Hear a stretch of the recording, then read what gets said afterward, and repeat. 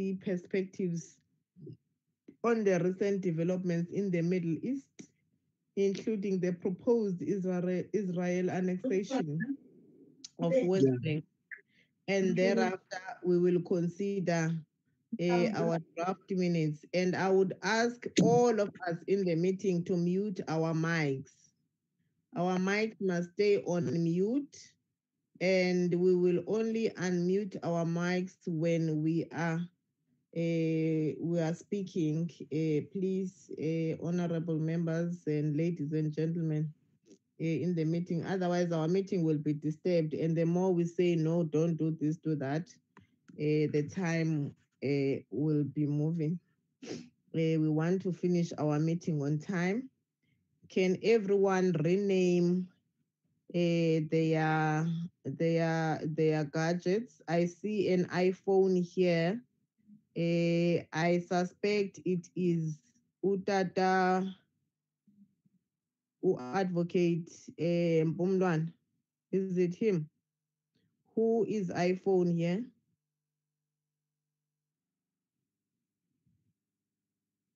Is there a person who is iPhone here?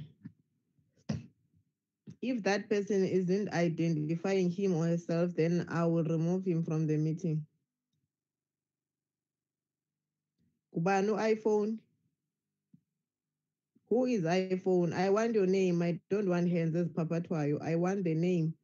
Unmute your mic and then tell us who you are so that if you are unable to rename your gadget, we do it for you. Uh, Honorable Chair, this is Honorable Hendricks here. Uh, my name is supposed to be on, but I know I have an iPhone, so. Your name is on. Your oh, name is on, Honorable Hendricks. Yes. There is ah, okay. another iPhone which is here, and the person okay. is Thank not you, uh, renaming. Your, your name, you are clear. We, we can see you. Uh, Thank but you. there's iPhone here. I don't know who that person is, and I'm removing the person now. Because once that person is removed, uzozazi bungibani. We're not going to have people listening about the meeting emithingini.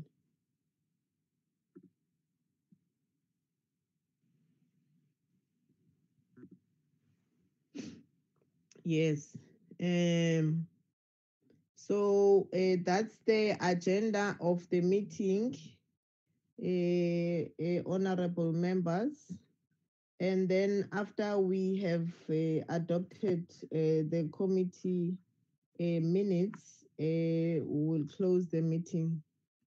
And we are hoping to finish um, our meeting on time.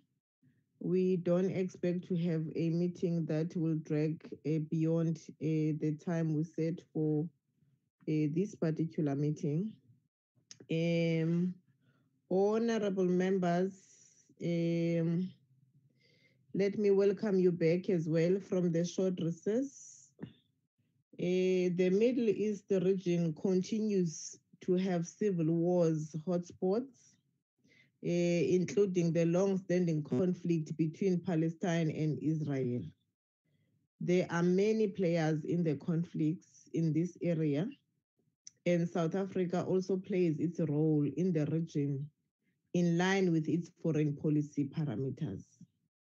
Honorable members, I must hasten to point out that uh, the briefing by the department today is an information session. It is not intended to or for the formulation of any positions. Uh, on the contrary, the committee as an oversight body should be given insights by the department on foreign policy perspectives on the conflicts in the Middle East, including a perspective on the viability of a two states theory in light of the intended uh, Israel annexation of the West Bank. In this information session, uh, honorable members, the committee is to assess how the department is managing the country's foreign policy in the Middle East, in particular the Israel Palestine long standing conflict. The committee would further uh, like to get a sense on what diplomatic activities are intended to allow South Africa to project uh, its peace uh, building efforts in the region because it is also important. In, in, in, in the very near future, uh, honorable members uh, has, has, has, has, requested uh, that um, we are going to host practitioners from the states of Israel and Palestine in the form of the ambassadors of those countries to address the committee on their country's viewpoint on the two stages theory in the Israel Palestine conflict, with the intended annexation by Israel uh, of the West Bank. We remember that. We also intend to invite the civil society to make input uh, in this discourse because it's important to get opinions for other from other people. All these engagements, honorable members, will assist the committee in the future to engage and make recommendations uh, to the executive on South Africa's role in the Middle East, and in particular with regards to the two-stage theory and its implementation. So uh, that's the purpose of this particular meeting and the briefing by the department today, which I, I think all of us would agreed that it is important to have. Uh, so, um, in those few words, uh, honorable members, you are welcomed uh, to our meeting, Minister and, and, and her team.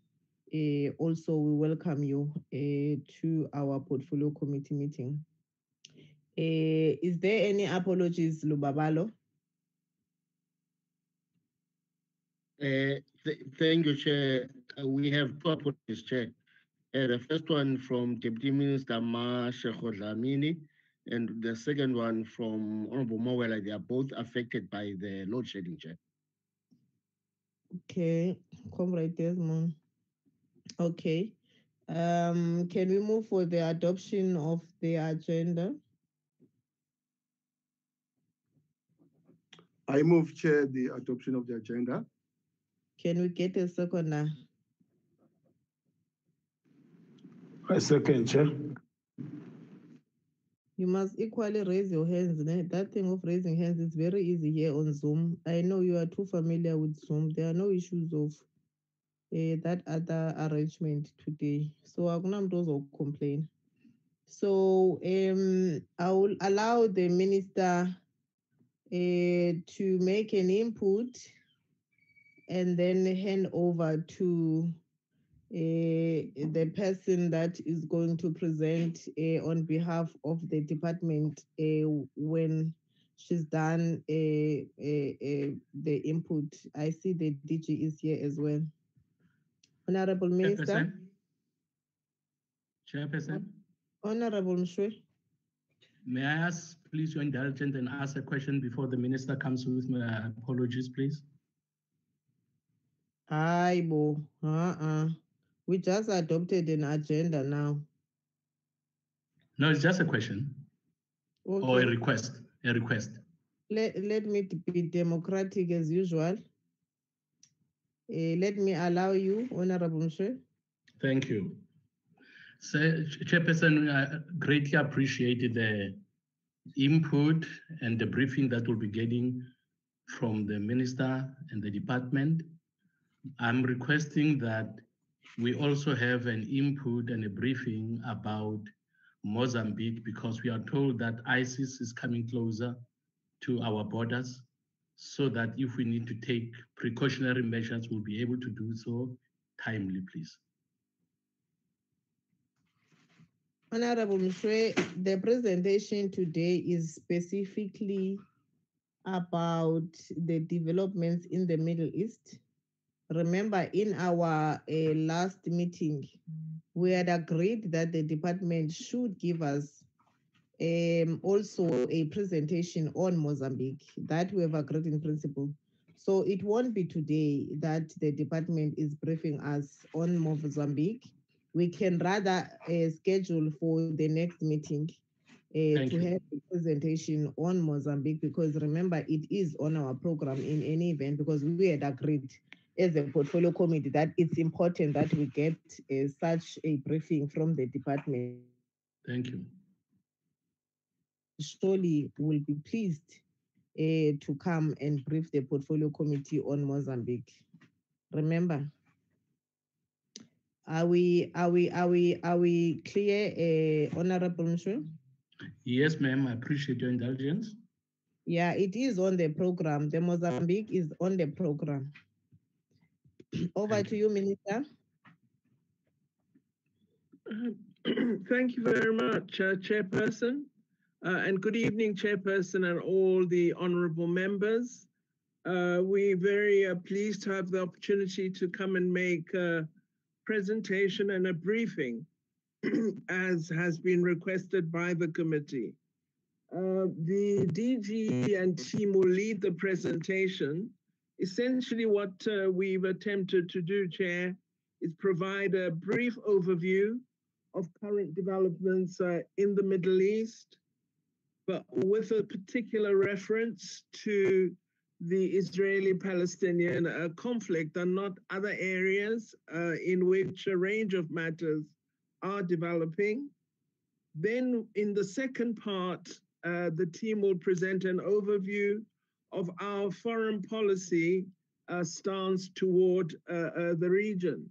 As uh, the honorable members and yourself, Chairperson, would be aware, we have a historical commitment to support for the struggle for human rights of the people of Palestine. And this uh, support exists alongside South Africa's belief in the UN resolutions relevant to this cause, but most particularly, we believe the outcome must be a two state solution with two sovereign states existing in peace and security side by side. There has been no deviation from that objective. It stands as the policy of our country and our government, but it is that ambition sorely tested by the events and briefing that uh, the department will put before the committee. So, Chairperson, with your permission, uh, I think uh, the uh, team can be invited to take us through the presentation, and perhaps there would be a brief discussion following that. Thank you very much, Chairperson. Thank you so much, Minister. Yes, there will be a brief discussion. Uh, DG, over to you. Uh, Thank you, Honorable Chair, Honorable Minister, Honorable members of the committee. Uh, We appreciate the opportunity by the committee to request us to sometimes present these uh, geographical-based uh, presentations, and it is in this context that we deemed it necessary to afford the, the, those who are at the coalface of those regions. And in this case, Ambassador Zanele Makina is the is the responsible for the desk, and she's ready to present to the uh, esteemed committee. May I be allowed to give her the floor to uh, present to the committee? Thank you. Yes, you may, DG. Ambassador Makina. Thank you, Chairperson. Honorable Minister, Chairperson of the Portfolio Committee, members of Parliament, once again, I would just want to welcome the opportunity for us to be presenting before you our brief overview and the positions of South Africa in the midst of what is going on in the Middle East. As the minister has has already uh, surmised the, the, the our position insofar as the Middle East peace process, the Palestinian issue. Uh, my overview will not really indulge on that because I think the minister has so ably dealt with that. Safe to say that indeed the, the, the, the world at large uh, is still seized with the issues of the Middle East peace process and uh, seized with trying to find a solution, uh, despite also the concerning developments led by the US government in terms of how they have come up with what they call the deal of the nation, sorry, of the century, which in a way diverts us from what we understood would have been uh, the, the, the, the, logical uh, route towards the peace process in the Middle East. having said that, uh, on 17th May 2020, Israeli Prime Minister Benjamin Netanyahu presented his unity government before parliament and putting an end to more than a year of political paralysis. However, he put this with a renewed pledge to annex large parts of the occupied West Bank, and this was scheduled to have taken place on the 1st of, of July.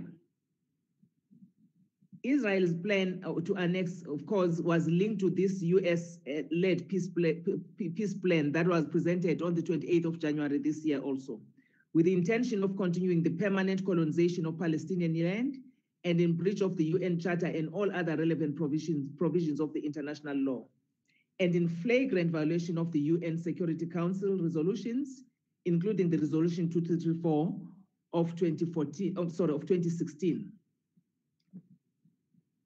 this peace plan, which really uh, shocked everybody, the, rather the whole world, recognizes Jerusalem as, as Israel's eternal and undivided capital.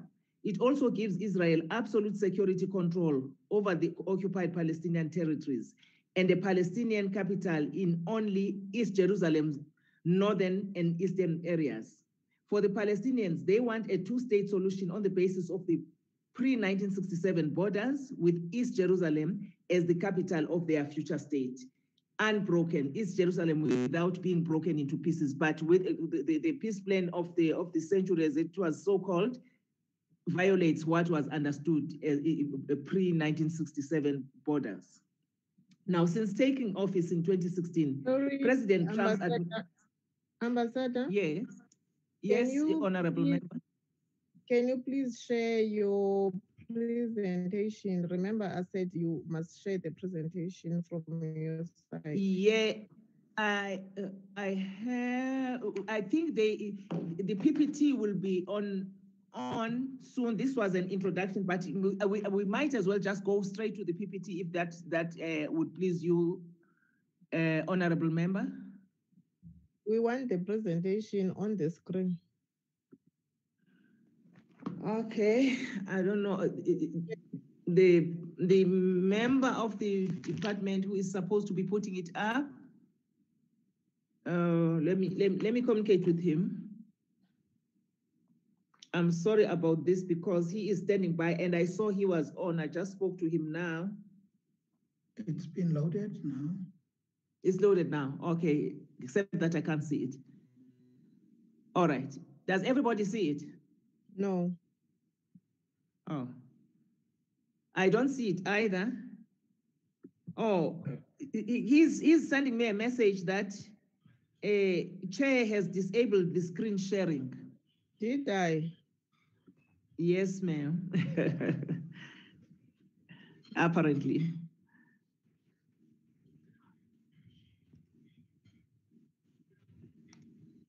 Is it fine now? On my side, I'm not seeing anything. The screen is dark on my side. the person who's supposed to share, what's happening there? Uh, he is, I think he's, he, I can hear him speak now. Sorry, Chair. Um, the host has disabled participant screen sharing. Currently, we are seeing your screen share, but I can't share my screen. Okay. Uh, I'm not sure. I get a, a mess, error message when I try to share screen. Is that so? Okay. Can you send your document to Lubabalo?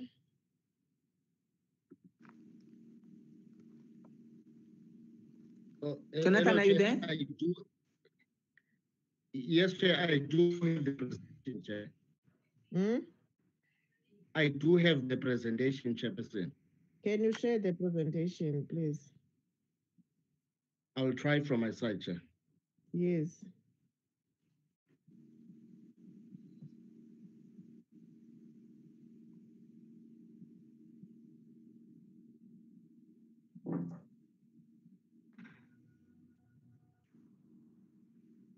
both four choices.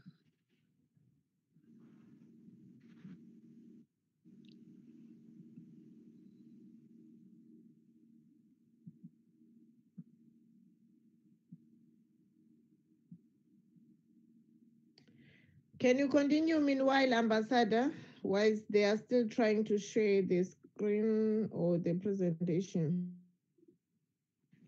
Thank you, Chairperson. Uh, I enable was any participants to share the, the screen. I don't know why they can't share the screen.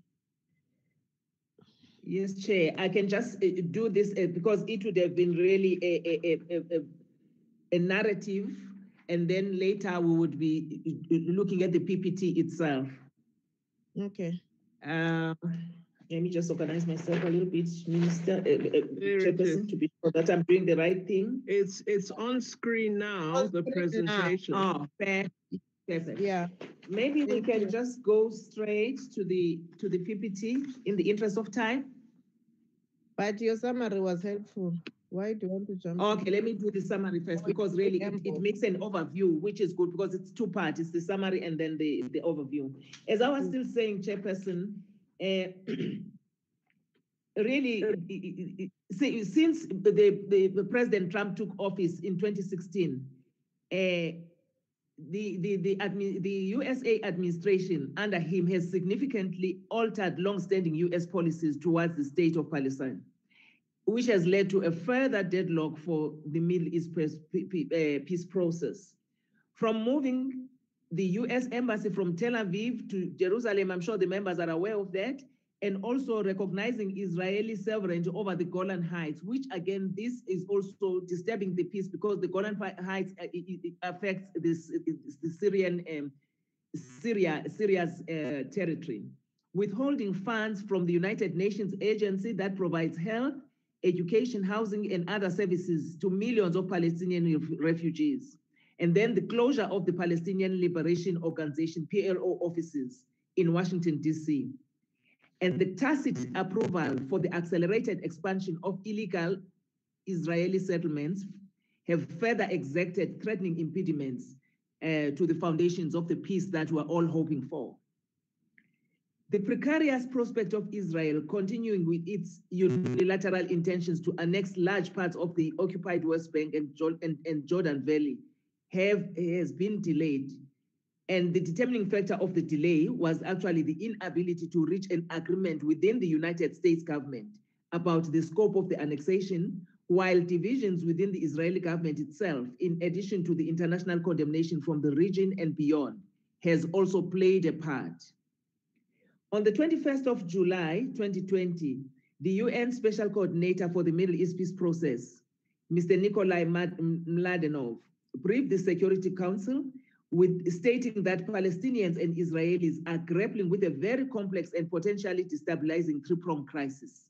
The first crisis right now in the two areas is an escalating health crisis as both struggle to contain the rapid spike of COVID-19 cases a spiraling economic crisis as businesses close, unemployment soars, and protests increase, and the economy suffers the financial impact on months of lockdown and restrictions.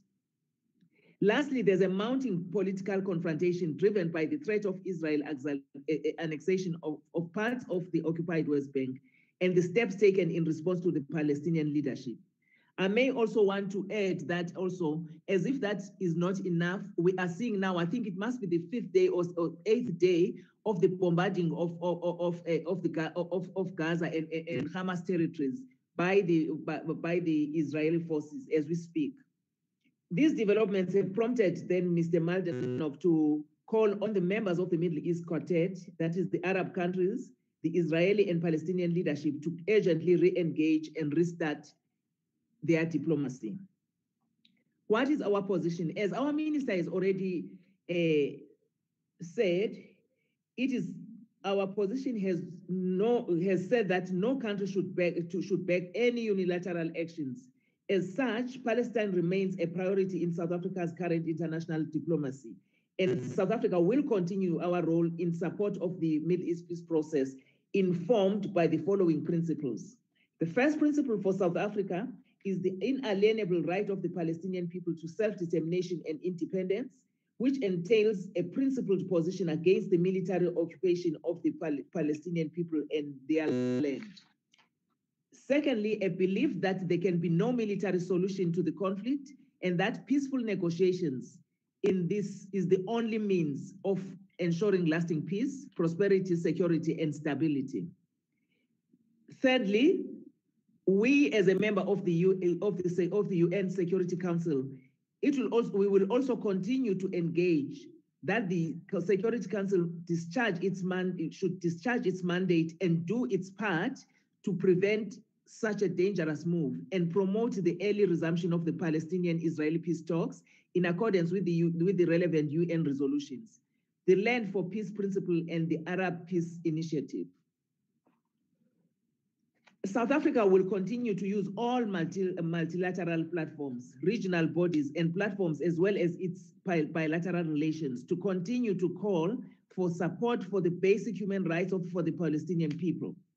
We've also repeatedly stated on previous occasions that the government of South Africa will continue to campaign for the independence of Palestine under the two state solution based on the international recognition and independence of the viable state of Palestine based on the 4th June 1967 borders, with Israel as its capital, existing peacefully as independent states.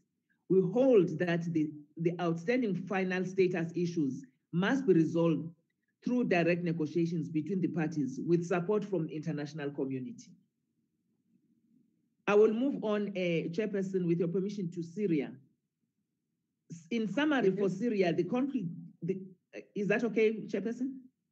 Yes, yes. Okay, thank you.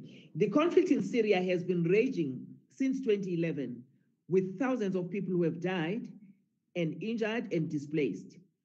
What has compounded this conflict again, prolonged and no doubt prolonged it, has been the interference of outside role players, including foreign powers and armed groups. A peaceful, stable country became a battlefield for geopolitical rivalry and ambitions of terrorist groups.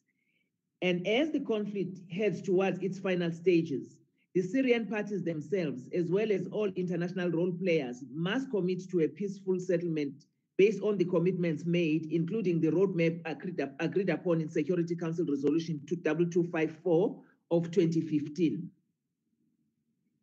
Our position, again, insofar as uh, Syria is concerned, Chairperson, we call on all parties to work together a permanent ceasefire that will pave way for an enabling environment in which an inclusive Syria-led dialogue can take place, aimed at achieving a lasting political solution reflective of the will of the Syrian people.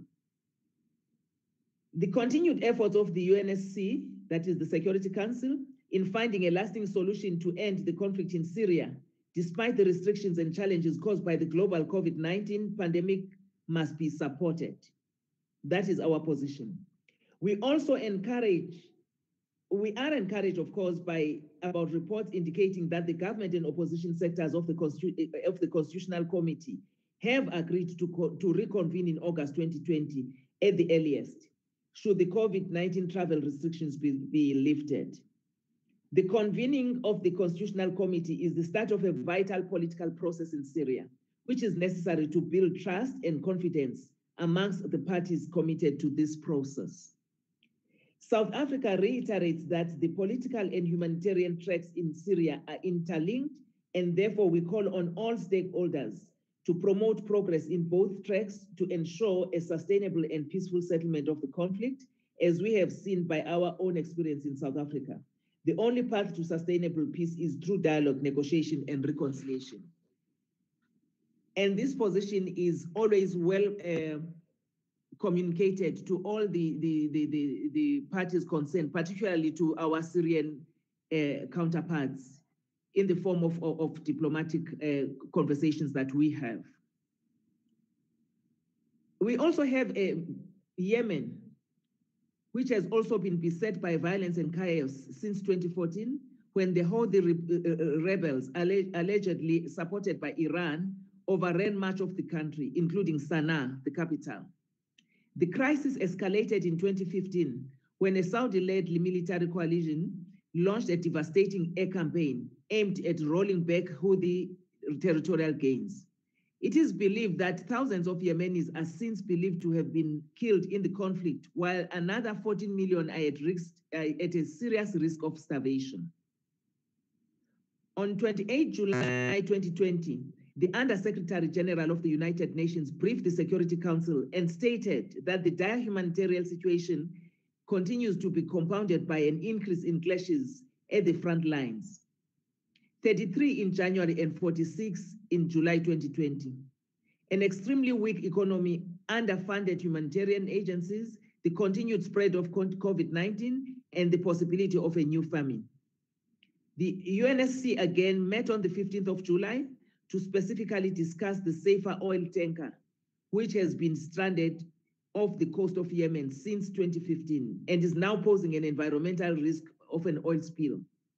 The council urged the Houthis to agree to allow the UN inspectors to board the ship in order to determine the full extent of the damage in order to prevent an oil spill. Insofar as Yemen is concerned, Chairperson and members, South Africa believes that the only solution again to the conflict on Yemen will be an inclusive Yemeni-led, Yemeni-owned political settlement that provides a strong economic and political future for all Yemenis. South Africa also believes that it is crucial for the parties to be constantly reminded of their obligations under the international humanitarian and human rights law and focus on the priority areas of protection of civilians humanitarian access, aid funding, strengthening of the Yemeni economy, and progress towards peace. South Africa has also urged the parties towards renewed confidence building measures, including, uh, sorry, confidence building measures, including the urgent resolution of the Safer oil tanker matter. As uh, chairperson, you know, we are dealing with the, almost the whole, you can mention all the countries of the, almost all the countries of the Middle East some crisis of, uh, of sorts is there. Insofar as Iran also, which is quite uh, topical in geopolitical issues around the world, is that President Donald, Donald Trump announced on the 8th of May 2018 that he is they are withdrawing from the Joint Comprehensive Plan of Action, which we call the JCPOA, with Iran. And this placed the future of the nuclear agreement in jeopardy. You will remember that the JCPOA was an agreement uh, that was brokered during the, the time of President Obama, which the Western countries, uh, the, the, the, the, Western leaders had agreed upon together with, um, with Iran. And however, at the advent of, of the arrival of President Trump, he decided to pull out of the JCPOA and immediately came up with, with sanctions against Iran, which meant that Iran, it was bec becoming very difficult also to trade with Iran and to do anything. And Iran was put in a situation on, on a back footing, and the peace pro and the JCPOA was was really rendered useless. Now, this dangerous approach has already led to significant political developments in Iran itself, with hardliners putting pressure on President Rouhani to adopt more extreme measures. Iran has also become more aggressive in pursuit of a stronger regional role, putting it in conflict with Saudi Arabia, which has similar leadership aspirations in the region. The country's supreme leader has recently announced Iran's intention to establish a military base in the Indian Ocean by March 2020. Not only was this announcement met with fierce criticism from regional powers, but such a move would be contrary to the Indian Ocean Rim Association, that is IORA, the goal of, of, of, of, whose goal of, of the demilitarization of the Indian Ocean would be affected. Globally, President Trump is reinforcing the policy of maximum pressure against Iran with overtures in the United Nations Security Council of an extension of arms embargo against Iran. Should this fail, the US is also looking at triggering snapback sanctions I must uh, say, uh, Chairperson, this, this uh, overview was prepared before the latest development in which the Security Council decided not to extend the, the, the, the, the, the arms the arms embargo towards Iran, and that has frustrated the U, the U.S. I think yesterday they have threatened also that they are going to go back to the snapback sanctions against Iran. We will see what is going to happen in this in this regard. And then the advent of COVID 19 has severely impacted Iran, being one of the worst affected countries in the Middle East. The US withdrawal from JCPOA and the subsequent introduction of unilateral and secondary sanctions against the Iran have had a dire effect on the country's response to the coronavirus. Hence, we see uh, numbers that are just escalating every day of the virus and the economy that has really fallen belly up because of the situation. Uh, whilst humanitarian sanctions with Iran are allowed under the sanctions, I'm sorry, humanitarian transactions under the sanctions regime imposed on the country, access to aid has been very difficult, mostly as a result of the effect that the sanctions have on Iran's ability to pay for even non sanctioned humanitarian goods. According to the figures provided by Bloomberg recently, some pharmaceutical imports from the European Union decreased by 15% from 2016, whilst 88% decrease of pharmaceutical products from the United States over the same period was witnessed in 2019. South Africa's position insofar as, as Iran is concerned, we consider the JCPOA as one of the most important and non-proliferation agreements ever, ever, that has ever agree, been agreed and has repeated, we have also repeatedly requested the US to reconsider its, role, its withdrawal from the agreement. In addition, we do not recognize the unilateral and secondary uh, sanctions against Iran. We continue to call on all parties to the JCPOA and members of the UNSC to uphold and implement the Resolution 2231 of, 2015, through which the JCPOA was established. South Africa also supports the continuation of efforts to resolve tensions between all actors in the region and promote dialogue rather than antagonism in order to safeguard gains already made in terms of disarmament and non-proliferation, which are essential for the maintenance of broader international peace and security. Chairperson, we also have the issue of the blockade against Qatar when the quartet, because the, the countries that uh, the quartet, the Arab quartet, the countries that we call Arab quartet, decided to block Qatar, to, to, to, to stage a blockade against uh, Qatar as a country, land, sea, and air blockade. These countries were Saudi Arabia, the United Arab Emirates, Bahrain, and Egypt, which are actually the members of the Arab uh, quartet. The blockading countries claimed that Qatar was, fuel, was fueling terrorism in the region and they were too close to Iran in terms of relations. Qatar rejected this claim and stated that there was no justification to, for them to show a force, to, to, to, for such a show of force by these countries, and that this decision was a violation of their sovereignty. Up until now, the blockade is still on in eh, eh, eh, a, against Qatar, and the Qatar has now made a also uh, has decided to appeal also to the, to ICAO, that is the, the the Civil Aviation Authority, the UN body created by the above mentioned convention for assistance. In June 2018, ICAO ruled against the blockading countries, but they insisted that only the International Court of Justice had the authority to rule on the matter. However, in July of 2020, the International Court of Justice ruled that ICAO does, does indeed have the authority to deal with the matter and supported the organization's finding on the matter. Both Qatar and blockading countries have intensified their diplomatic, diplomatic maneuvers to garner support from members of ICAO for their respective positions. It is clear that Qatar's resilience was underestimated by the blockading countries, and the question remains whether the blockade is still sustainable.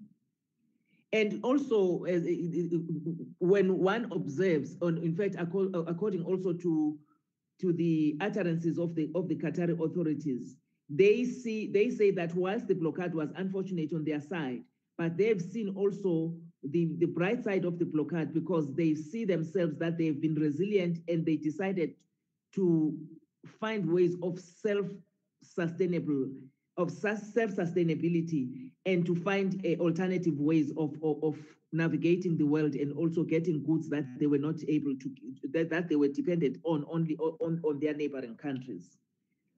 Again our position is that we have excellent relations both with the state of Qatar as well as the blockading countries, and therefore it has, we have remained impartial throughout this conflict, urging both, both sides rather to rather engage in discussion to resolve the matter and giving its and to give its full support to the GCC. That is, we are giving our full support to the GCC countries and the Arab League, seeking to mediate a peaceful resolution. As South Africa, we have also informed both sides that it was we are ready to play a constructive role in the dialogue aimed at peaceful resolution of the situation, given the value we attach to our relations with the two countries and the countries in the region. On the issue of uh, Chairperson, I'm, I'm not sure if I'm still there. Hello? We are listening to you, Oh, okay. We are all- It's, it's very, okay, I just wanted to be sure. Thank you, Chairperson. Yeah, thank you so much. you. Mm. You know, this, uh, this, uh, the, the, the situation of uh, load shedding and everything, it Yeah. makes us to not to be sure whether we're on or not. Okay, I'm now on Lebanon. I'm trying to rush through. Uh, You were saying, Chairperson? I'm saying, okay, continue. We are listening. Okay, thank you, Chair. On, on 10th, on on the 10th of August 2020, President Hassan Diab of Lebanon, just last week, and his cabinet resigned in the wake of the tragic and devastated explosions that occurred on the 4th of August 2020 in Beirut. The detonation of more than 2,000 tons of ammonium nitrate killed over 200 people, injured 6,000, and destroyed swaths of infrastructure, compounding, compounding months of political and economic meltdown. It's estimated that losses of about $15 billion from the, from the explosion have been experienced by Lebanon.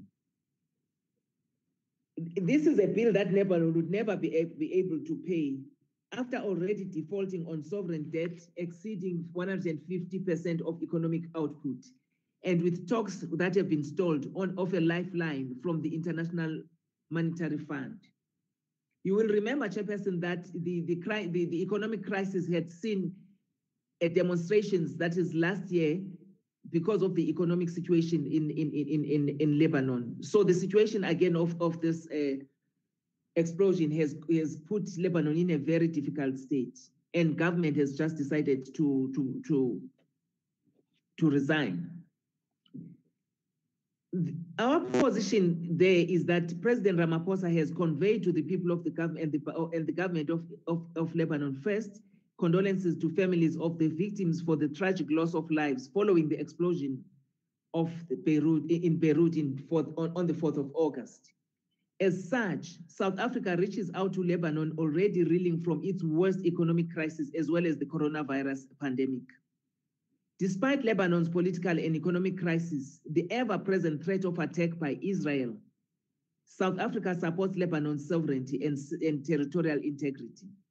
In these challenging times in Lebanon and the wider region, further escalation of tensions must be avoided. In this mm. regard, South Africa calls on the parties to honor their commitments and obligations li- in line with the relevant Security Council resolutions and international law to resolve the outstanding matters, including the deli- delineation of borders and contention along the blue line in terms of the resolution 1701 of 2006. Regarding the mandate of the United Nations interim, for, in, interim force in Lebanon, South Africa believes that given the developments in the past few months, especially pertaining to the tension along the blue line, the role of the UNIFIL in Lebanon is more important than ever. We note the vital liaison and coordination role of the UNIFIL that has continued to play, uh, th- th- that UNIFIL has continued to play to be able to diffuse situations that might otherwise have escal- escalated into hostile and hostilities between the two countries, uh, sorry, between the two parties. Given the increased tension along the blue line and in relations between Israel and Lebanon, the recent breach in the cessation of hostilities, together with Lebanon's precarious security situation, as well as the current regional dynamics, South Africa believes that UNIFIL's mandate should be renewed for a further 12 months and its capacity and resources remain at its current levels, as requested by the government of Lebanon. Any change to the mandate would be premature given recent events as yet. and as yet unknown impact of the capabilities of the UNIFIL in the coming uh, session. South Africa stands in solidarity with and supports the people of the government of uh, and the government of Lebanon during these devastating and challenging times. The economic situation generally in the Middle East, uh, Chairperson, in most of the countries in the region were in the midst of broad development plans that targeted the diversification of economies. Whilst the, the region was trying really hard to, to, to, to diversify its economies because also of the situation of the uncertainty of the oil economy, COVID-19 has, has placed everything almost on hold. The development plans would have presented an opportunity for trade in investment growth between South Africa and especially the countries from the Gulf region. We as South Africa had really, we have been gearing ourselves uh, to, to participate in term, economically in the diversification because we have seen all the Gulf countries beginning to see that depending on oil only was not the solution. And then they were looking at many other opportunities agricultural and otherwise in order to, to, to boost their economies. And South Africa was gearing itself to be part of, of, of, of the new openings and the new industries and sectors that were developing. However, the diversification now has required increased spending by states to stimulate the new industries and attract labor. The capital for this investment would likely have been made through the vast foreign reserves that they have. However, the slump in, this, in, the, in the oil prices has put huge financial pressure on the economies that are heavily dependent on oil revenues in the region. Now, the virtual disappearance of liquidity from the budgets of the oil exporting countries due to the low price and lack of demand led to the significant budgetary pressure, with negative economic growth in the GDP to be expected. The economic impact of, low oil, of the low oil price and the drop in demand coupled with the drop of economic activity in the services sector, is going to impact certain sectors of the economy with negative growth forecast for the rest of 2020. The most likely solution to alleviate the effects of the COVID-19 pandemic will be, will be to utilize their sovereign, sovereign wealth funds in these countries. And fortunately, they have quite uh, big funds, so, so to say, the, the wealth funds that are also also um, invested around uh, around the world. A rise in bonds issued is predicted as well as a quantitative easing, measuring, me easing measures to make it cheaper to borrow money and to create higher returns on current investment portfolios in the sovereign wealth funds. And the use of such funds for servicing the debt. This may imply reduced investment potential at a state level in such an environment, the value of missions to monitor, the, the, value of our own missions now to monitor and track economic recovery in their respective countries of accreditation cannot be underestimated. And we are urging our missions. We've spoken to them. We had a conference uh, on Monday with our heads of missions to, to also give them an edge to, to, to be on, on the alert for the new opportunities that will be coming so that South Africa can also be have part in, uh, in gaining access to that. For many other industries, the situation will become extremely difficult, but there are a number of strategies manufacturers could employ to mitigate some of the worst effects. These may include a greater push towards e-commerce and to harness technology, technology to strengthen supply chains. The stimulus, in, in, in so far as our position is concerned, the stimulus provided by the capital injection presents a real opportunity to increase trade with the region. As the Gulf's traditional supplier economies are unproductive and the demand will be stimulated by continued social welfare supplies by the United, by the state. The ability to identify export opportunities and service them will require increased in, uh, interaction between missions and private sector in South Africa, coordinated and facilitated by DIRCO and the, and the DTIC. The international supply chain and market disruption, the slowdown in economic activity will likely have an impact on the production and profitability of specific global companies, particularly in manufacturing and raw materials, materials that used in manufacturing. There is a move to diversify international supply chains, which provides further opportunities for South Africa's manufacturing industrialization. South Africa should continue to pursue primary sector production and export to the region as it remains in demand and would present an opportunity as global production have been curtailed and price competition may result in exploitation of South Africa's comparative advantages, which is production cost and market proximity. Although the immediate concern of governments on both sides for now is to contain the ongoing pandemic, the time is ripe for us to start serious discussions and cooperation on the multifaceted aspects of the healthcare and medical sciences.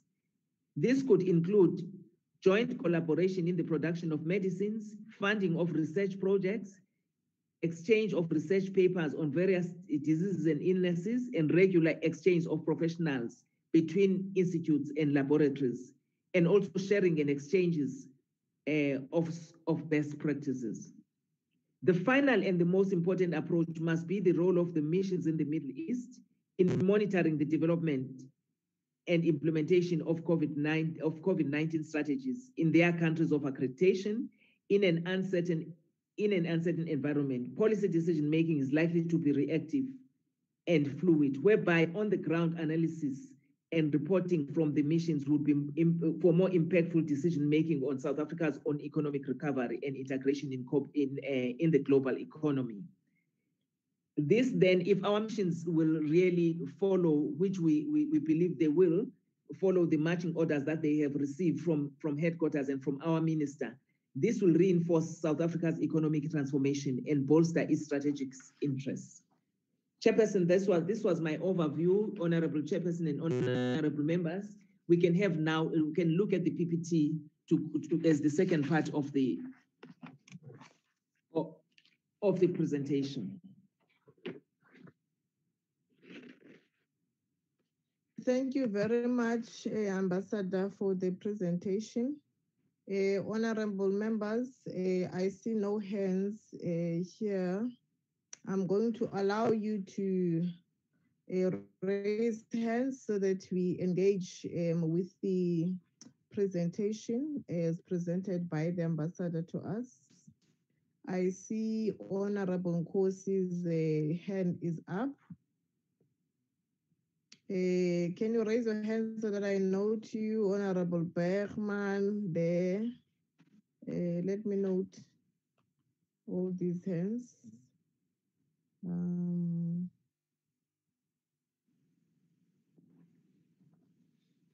is there no other hand?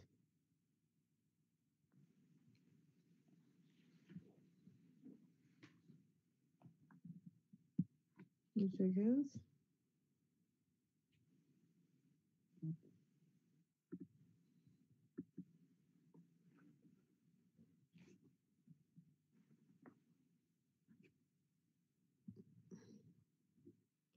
Honorable Nkosi, can you speak? Uh, meanwhile, I'm writing down other hands. Good evening, Chair, and good evening to the Minister and the Deputy Ministers and uh, the leadership at management level of the department. Chair, I think the, I, I welcome the comprehensive input on the Middle East. It is a, a, a complicated presentation. Um, and I think engaging with it would be difficult if we do not focus on specifics. I am um, delighted, Chair, that the on the presentation, the in particular the slides uh, 19 and 20, which outline what our responses are in, in, in, in the light of the economic developments of the entire Middle East. I think that that is important and um, encourages, uh, it is encouraging that the department has actually made an analysis that enables it to make strategic economic and trade interventions that will enable us as a country to take advantages of the opportunities that arise in that region. Be that as, as, it, as it may, Chair, um, I would like just to ask what the impact of the conflicts or unresolved conflicts in the Middle East is on uh, the Sahel and the Maghreb region in, in, in Northern Africa. I'm asking this question because often the, the link between the two is obscured by a focus on each without looking at the interrelation of the spilling over of the conflict, particularly uh, in the Middle East uh, as it affects the, the African continent. Secondly, the, what is the role of the African Union as a body um, in interacting with the situation in the Middle East and what are the priorities that the AU has tabled or has identified as important, uh, both at the diplomatic level, but also at a trade and investment level for the entire region, uh, um, uh, for the entire continent, but in particular for the uh, region in, in, in, in the north. And related to that, what is the role of the regional bodies tasked with the responsibility to ensure safety, stability, and security, in particular of the borders and the harbors uh, bordering um, the Middle East. What are their inputs? What are their role? What what what is it that they they uh, bring to the table in, in the process of re resolving this issue? The last issue, Chair, is the the issue of Palestine. Um, I, I'm encouraged that the department uh, is is adhering to the principled position that has been taken by the country in line with what our policy is. That one, we recognize the inalienable right of the people of Palestine to their own sovereignty and self-determination. This cannot be denied to anybody. Uh, it has not been denied uh, uh, by, in fact, it's something that has informed uh, nations or the creation of nation states uh, from centuries in Europe and, and, and the Americas and in our continent. It's something that you, we, we, we cannot flinch in supporting the people of Palestine in that regard. There is the, the problematic role played by the United States of America. While we engage with them diplomatically, it is clear that responding to internal pressure, particularly after 2016 and the rise of the right wing in the United States itself, the Trump administration has adopted an approach which I characterize one as very aggressive. It's an aggressive foreign policy approach, firstly. Secondly, it's, it's in, in the mercantilist approach, they disregard multilateral institutions, they disregard existing agreements uh, that have been in place that have created a balance in the international situation to avoid war. And they are playing in the Middle East is not only uh, to deny the people of Palestine um, uh, their right to sovereignty, but it also fuels their actions also fuels the, the tensions that have always been there uh, in, in the Middle East. And I think it, it, is, it will be incorrect for us not to call out the United States government, particularly represented by the pre present government led by Donald Trump, as, in my own words, as a, a, a precursor of an or, or playing in the on the verges of aggression or, or encouraging aggression. And it, as far as Israel is concerned, Chair, I think we, we, we must, and I've said this before, that Israel is a belligerent occupier of Palestinian lands. And under international humanitarian law, Israel has particular responsibilities that towards the people of Palestine, but also towards respecting the territory, the land, the international heritages, I mean, the national heritage and cultural artifacts of the people of, of, of Palestine. And therefore, in whatever fora we participate, we must remind the world that the humanitarian law responsibilities of Israel are much more important uh, as they continue to, to, to exact their occupation of Palestinian uh, lands, let alone their breach of international law and continuous breach, uh, eternally so, of United uh, Nations resolutions.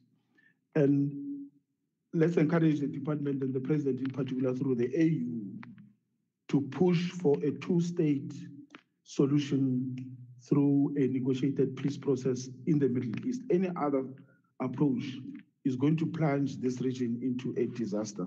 And let me conclude, Chair, by saying that there, there is a growing or there is a view that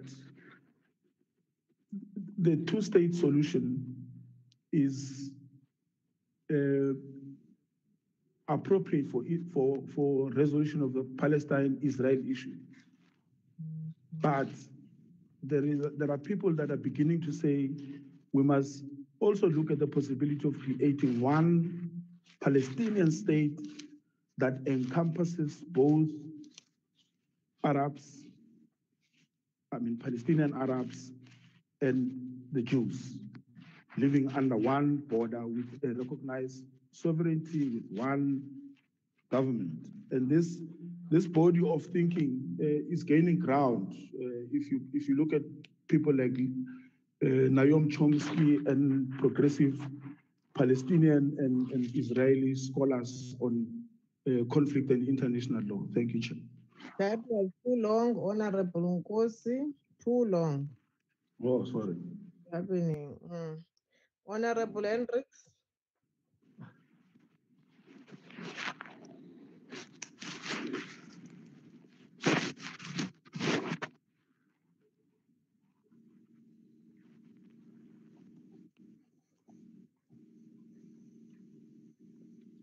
Honorable Hendricks. Uh, uh, thank you very much, Honorable Chair. Uh, Honorable Chair, uh, I would like to applaud the Department of International Relations on its policy and position with regard to uh, countries, especially in the Middle East and especially in Palestine. And um, I just want to um, touch on one of the issues raised by the director about the need for uh, assistance with regard to the effects of the uh, COVID pandemic, uh, uh, uh especially uh, medical supplies. And earlier today, we heard a, a, presentation by the Minister of International Relations, Honorable Naledi Pandor, about the African Medical Supply Platform, which our President uh, is leading as chairman of the Bureau of the Assembly of the African Union. I heard the director referring uh, to the to, to the fact that South Africa can play uh, a role to ease uh, the needs and the burdens uh, in the Middle uh, East with regard to supplies. And I would like to suggest that maybe the department must look at the African medical supplies platform and not uh, not only help from South Africa. South Africa at the moment, uh, Honorable Chair, as you know, there are a lot of disputes about the PPE and so on. And that's why a, a, a, a excellent uh, platform would be the African uh, Medical Supplies Platform to show support from Africa uh, to help the uh, Middle East with its matters relating to the COVID uh, pandemic. And just in closing, uh, Honorable Chair, um, it is a um, the South African position on, on especially Palestine uh, is well received by many countries. And as I was very proud to be a South African when uh, in December I attended a conference in Ankara and a conference in Iran addressed by the presidents of uh, both countries at different times.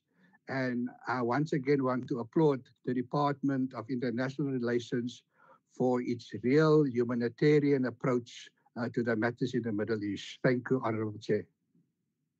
Thank you very much, uh, Honorable Hendricks. Uh, Honorable Ngola. Thanks very much,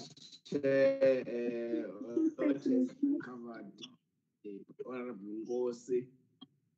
Uh, just, just two, two few issues that uh, I would wish to add from what Honorable Nkosi has raised. Uh, the one of which would be how far have you engaged the United uh, Nations Security Councils Council for this matter relating to Palestine and Israel.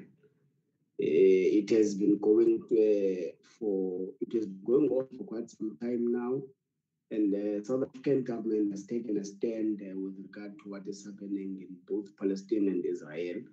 So, how far have we engaged there with the UN Security Council with regard to that, in ensuring that um, we bring stability there and the second one would uh, would uh, be on the on the team that was established to mitigate the issue of Libya.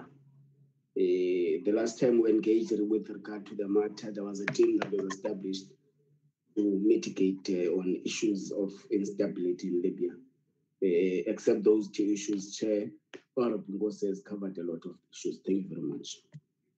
Uh, thanks, Honorable Ngola. Honorable Bergman. Chair, thanks very much. Um, last time I thought that Honorable Nkosi and I were in full agreement. This time I can tell you that we actually not. Um, I, must just say that I, I think that if we look at the geography and we look at the history, I'm not sure that we got the same education, and I, and I must be glad for that. So if you look at an atlas, and you look at Israel, and you look at the area that is um, apportioned to Gaza, Palestine, and Israel, it only makes up a pin drop of what the whole of the Middle East is. And, and the way that uh, Honorable Nkosi talks, you would think that Israel is the aggressor of the whole of the Middle East, but it's actually it's not it's not even a pin drop compared to all the other territories that make up what is the Middle East. So we, we, we must put that into perspective. It's got nothing to do when I, when I say that. I'm not talking about the oppression of the Palestinian people. I'm just saying in terms of the actual Middle East. So what I wanted, what I do want to draw your attention to, and I think it's important because when we talk about the Middle East, I think it's important that we take out emotion as politicians and we employ logic. And the first logic we have to look at is figures. And the figures don't lie. So when you look at something like the UN report, uh, which is based on independent facts drawn up by the UN in what's called the UNDP report, the UNDP report looks at the, the, the, the livelihoods of people, the quality of life of people in sovereign countries or the quality of life in, in territories of people. So to take a person's life, it would look at their quality of life in terms of education, the quality of their life in terms of their housing, their sewerage, their electricity, uh, the quality of their water, and then it would take their uh, life expectancy. Israel is quite advanced. Um, the quality of life is high, and the age expectancy is very high. It's, I think it's something like 74 years old. But the interesting thing is, South Africa falls 10 years lower than Israel. But what I want to tell you is that Palestine is higher than South Africa. So, what we need to ask ourselves is should we be worried more about ourselves internally? you know, the Palestinians should be worried about us in South Africa because we have a worse quality of life based on the UN report. You just have to take the UNDP report. Now, again, when we talk about the, you know, often the favorite is to say, oh, there's an apartheid.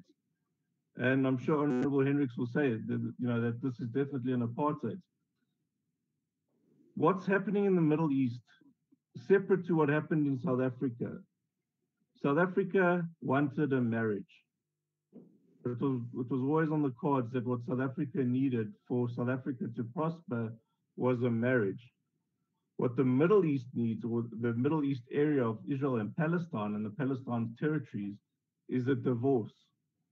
And this is where it gets quite, you know, this is where the this is where the issues get quite heated, is that there's really only three issues that people disagree on. And it's uh, Gaza, the Palestinian Authority, and Israel. And I think people also don't understand that there's Arab people that live in Israel. Arab people own land in Israel. Arab people are judges in, in Israel. Arab people are members of parliament in Israel. They enjoy equal status in Israel. Now, in those three areas, it's land, it's refugee status, and it's Jerusalem. The rights of the refugees. These are the three areas of, of, of, of conflict that, that, that is a major source of, of conflict. But what people don't, and Ambassador, you've left this out in your presentation. What happened to the rights? What happened to the refugee questions from all the other surrounding areas for the refugee? Eh, you know, and then and then of course, Councillor Nkosi said the same about America. America wasn't the problem in the Palestinian mandate. The Palestinian mandate, they they enjoyed peace between the Israeli, between the Hebrews and the Arab people, there was peace. There was they, they were brothers. It was the British mandate that caused the problem because there was a miscommunication. The one side wrote a letter to say that they were going to get the land, and another side wrote a letter to the other side and said they were going to get the land. And the, then the British got on a boat and said, Well, you two sort it out, and then they left. So the rightful people that should sort it out, in the right, in my opinion, was actually the British. But the actual, the, the rightful um, negotiators, the peaceful negotiators, the people that probably have the most credibility is actually Egypt. Now, I was quite heartened to see, and I, you know, I'm sorry that it's who the, the negotiators are, but when when the when the United Arab Emirates comes into a peace plan, and there's already Egypt, and there's already Jordan, and Lebanon and Israel have enjoyed peace for a long time you do get heartened. You do believe that there could be a lot more countries creating peace. Because I think the peace, the solution for peace, and we must have peace. I, I, I definitely empathize with the fact that the Palestinian people deserve a land of their own and they deserve sovereign independence. But I also believe that Israel deserves security.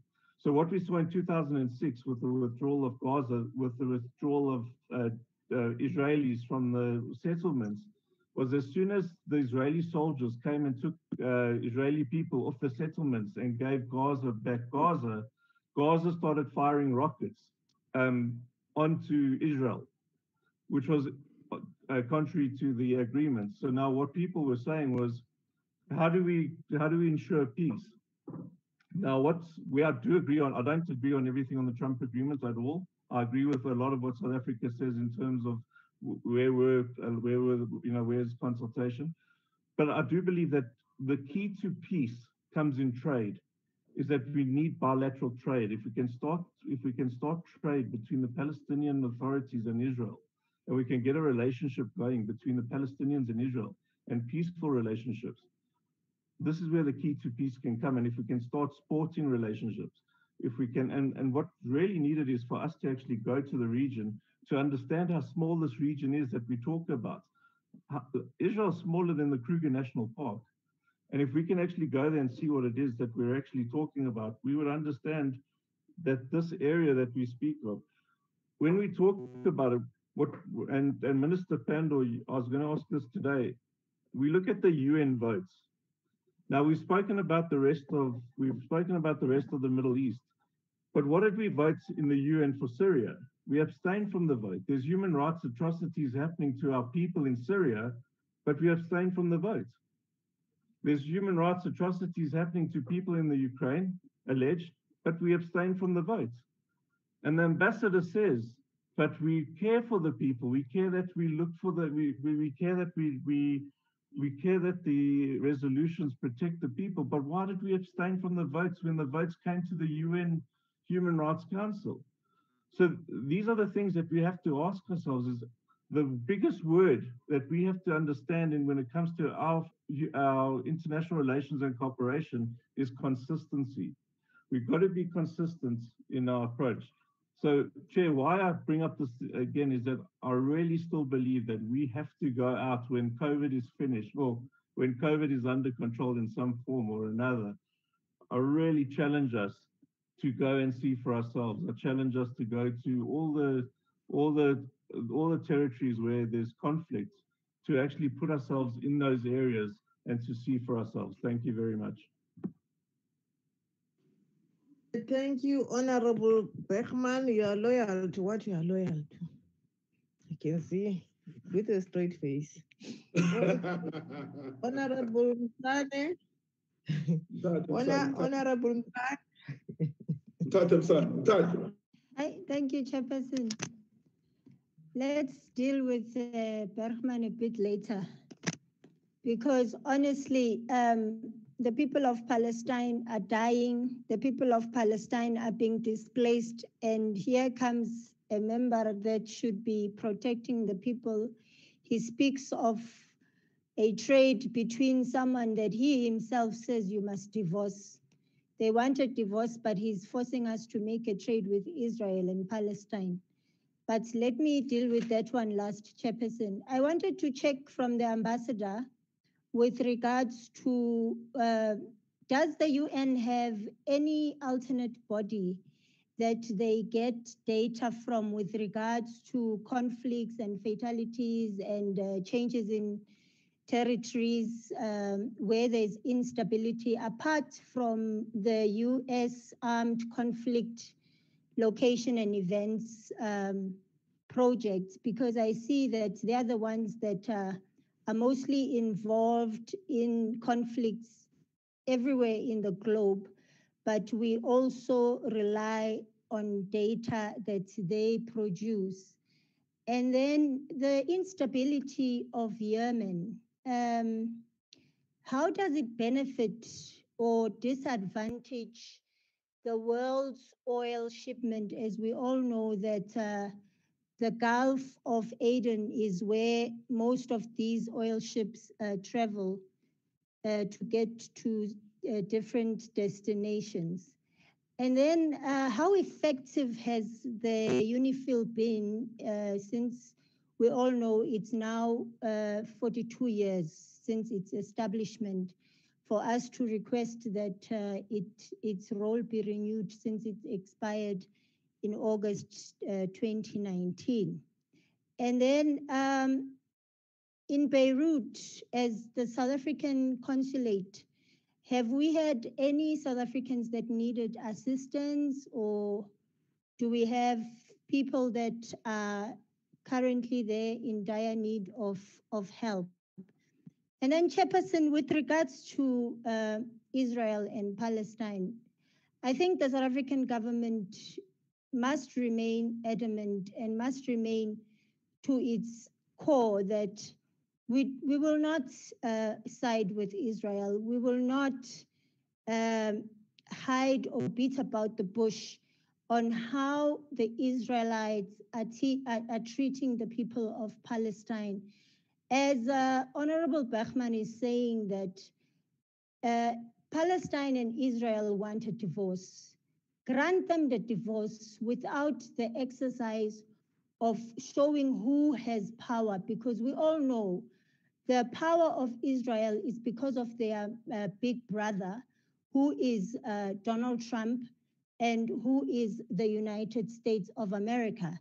Uh, I don't know, Ambassador, if you can assist us to tell us should uh, uh, Sleepy Joe win the elections in November, how will it uh, change the dynamics to what Trump has done, especially now with this peace deal that Trump has signed with the, the UAE and Israel, which it's it's it's it's hiding, uh, it, it's making the Palestinian people believe that uh, the annexation will not happen, whereas we all know that the annexation has been halted so that uh, whoever wants to trade can open up their gates, believing that Israel is is um, is pulling away from its original uh, agreement of the oppression of the people of Palestine.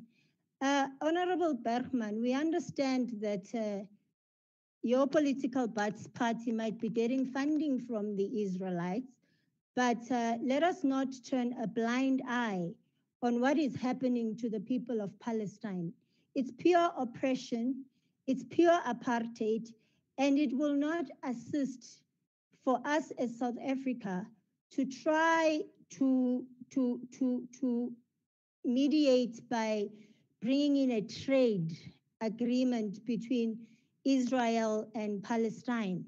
You know, the history that you've just told us that uh, their lifespan is better than um, us in South Africa. The current situation or the current statistics say that people are suffering. The people of Palestine are, are bleeding. They can't breathe because of Israel. And we all know why, because they have a big brother who is USA. And even the U UN humanitarian bodies are afraid of the USA because they don't want to isolate the, U the USA. They don't want to isolate um, Israel like they did with small uh, countries like South Africa, they, it was very easy for them to isolate them, to blockade them from trading with any other countries. But because Trump, I mean, Trump recently withdrew funding from WHO in the middle of, of a pandemic, pandemic. But the UN seems very quiet on such issues. They don't want to say anything. So the people of Palestine are depending on the rest of the world for assistance against the big brother, which is USA and Israel. So, Chairperson, um, I want to tell Mr. Bergman that Honorable, Honorable Bergman, honestly, honestly, um, would rather find you funding from elsewhere as, as Uh, instead of Israel, because these people are really oppressing the people of Palestine, and it, it's it's sick. It's really sick, Chairperson. Thank you very much. Honorable Mulder. Thank you, thank you, Chairperson. Chairperson, my apology. I had another meeting at the same time I could not hear the uh, Honorable Ambassador, but I did do what I needed to do. I worked through her presentation before the meeting, and I just want to make one or two points with regard to the Israel question. The first one is the fact that if you look at the South African government's policy with regard to the Israel question, it is quite clear that South Africa is committed to a negotiated peaceful settlement. That, that's quite clear throughout the presentation that South Africa supports that concept that we need to find a solution through negotiations. Now, my first problem is that if you look at the South Africans' policy position, we will not be able to play any significant role because we are being perceived in terms of our policy position to be biased, and we and I can we can go into that detail um, in terms of being pro-Palestine and not being neutral in the whole approach in this process if we want to get the negotiations going, then the downgrade of the embassy clearly also has played a role um, in, in, in putting our position in that regard. And you have to take cognizance of the fact that, as far as I'm concerned, that the Middle East is changing and that South Africa is being left behind. This new agreement signed between Israel and the United Arab Emirates, both our BRIC partners, China and India, welcomed that uh, agreement signed. That agreement put the whole annexation thing on hold. And there's a process now which reopens negotiations and the normalization of Uh, relations between Israel and other, other Arab states. So I would suggest that South Africa should play a role to get the parties to negotiate and get back to the negotiating table, but we cannot do that if we are perceived to be biased in the process. And I would like to hear what the ambassador says about that. Thank you very much. Honorable Swartz kuthiwa masikhwele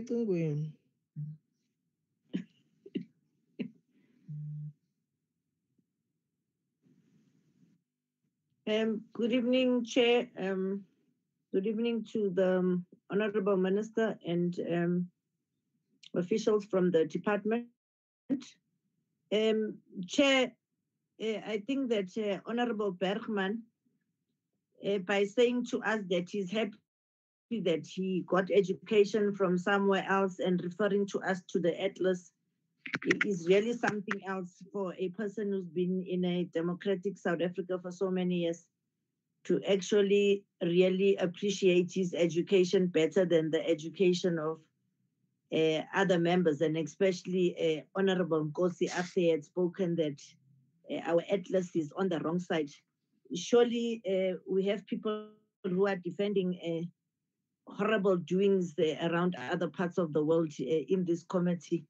We actually becoming afraid, Chair. Chair, mine, I've got a comment to the department and a question. Um, from the briefing, it becomes clear that the um, cause for the state of Palestine requires that the department should use its um, diplomatic skills to ensure that South Africa plays its role of solidarity with the government and peoples of Palestine. It is therefore imperative that proactive and practical steps need to be taken to give effect to South Africa's contribution to the Palestinian cause. Um, can the department share with us, the committee, what some of the practical steps are that the department can take in this regard. Thank you, Chair. Honorable Ngora, I see your hand. You, you is, is not lowered. What's happening? Uh, Chair, I think uh, it is important for us to unequivocally say in this uh, portfolio committee meeting that the imperial forces around the world are hitting hard and they are vicious. And part of what keeps them reigning in their own doings is that they have got their sub subjects in every country they live or they want to capture. Hence, you are able now to get uh, the remarks of uh, uh, just like what uh, Bergman is saying it tells you that they have spread their wings across the world and they are going to hit harder. The more we become lenient to the imperial forces, the more they are going to hit harder into the innocent souls of civilians across the world. It is important uh, to note that uh, part of what had made us defeat and take the apartheid regime into its knees was basically mobilizing what we called the international solidarity. I think as things stand now uh, in the country, we need to be part of the solidarity that is giving out and helping other countries. And we need to be able to isolate some kinds of uh, the behaviors like uh, Bergman in the country because we can't find ourselves having spoken about what we call the national question, which is simple, the right to self-determination, and be able to be on the other side of it's in the constitution of the country that South Africa has a right to self-determination. Now we can't speak another language when it comes to other countries uh, in the world. So I think uh, it is important for us to register in this portfolio committee that uh, the department itself must ensure that we're able to mobilize all the progressive forces in the world to ensure that we have got a clear plan of ensuring that civilians in Palestine, Lebanon, and other countries are not affected by the heinous acts of uh, the US and its subjects, like Bergman and others. Thank you very much. I just wanted to register that. Can you lower your hand? Honorable Minister. Uh, sorry. To start before uh, the, the the the department response. Chair. Yes. Sorry, if I may, can I just respond before Honorable Caller talks for me and says lies about what I've said? I'm not going to allow dialogue. Wait for the second round after the response. He spoke twice. Why can't I speak twice? because I'm chairing the meeting and I'm not co-chairing, I'm saying after the department has responded, because this back and forth of you honorable members will chow the time for the So department. it's to- only the ANC that can speak to us. I don't know what you're talking about and I don't intend to respond to it. So you allowed him to speak to us, but I can't speak to us. Minister, are you going to respond before the ambassador responds? Uh, I hope so, uh, Chairperson. Okay, please, Minister, the floor is yours. Two-state Thank you. solution. Thank you very much. uh, Two-state Chairperson. solution. Um, I think, Chairperson, you were very right at the beginning of the meeting when you indicated that uh, you will be inviting the ambassadors uh, of uh, Palestine as well as of Israel to brief the committee. One of the questions you would probably put to the Palestinian ambassador is Do Palestinians enjoy the freedoms that Mr. Bergman has referred to here? And is there human development index of the character that he mentioned in terms of the freedoms and rights that we enjoy as South Africans in a democratic South Africa? Do they have freedom of movement? Do they enjoy human rights? Are they bombarded on a daily basis? Do they have a territorial integrity? Are they a sovereign state? So the ambassador would be able to provide the daily experience uh, of uh, Palestinian people and to give the committee uh, a full sense of what the lived experience of Palestinians is. Uh, so I don't think uh, it would be my duty to uh, present that overview. And we certainly believe that having a presentation of that kind would be of great assistance from those who live uh, the, the reality. Um, Chair, let me come to the questions. Uh, I think that uh, the Honorable Nkosi was right that we are dealing with complex uh, issues, and I think the answers aren't easy. They, they certainly are very, very challenging. And of course, um, the Middle East briefing that we made uh, was not only focused on Israel and Palestine, it was on the entire uh, Middle East, particularly uh, uh, the Gulf and beyond uh, region.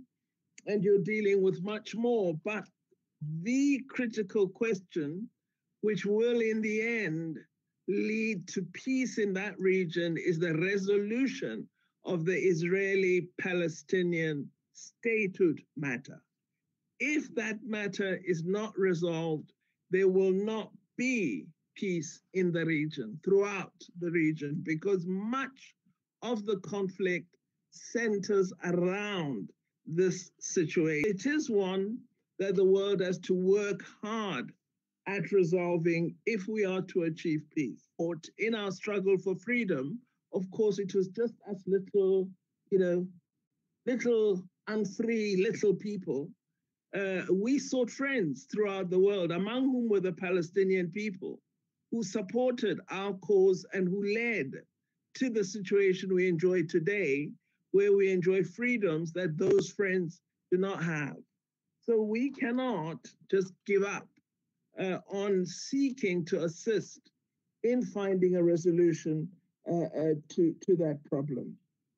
And perhaps to answer uh, the Honorable Mulder, we've made it very clear that we cannot just continue business as usual, pretending that our presence in Israel is making a difference. What we have said is the moment there is a movement that indicates a positive intent for negotiation toward a settlement, we will absolutely open arms, get the embassy going, and so on.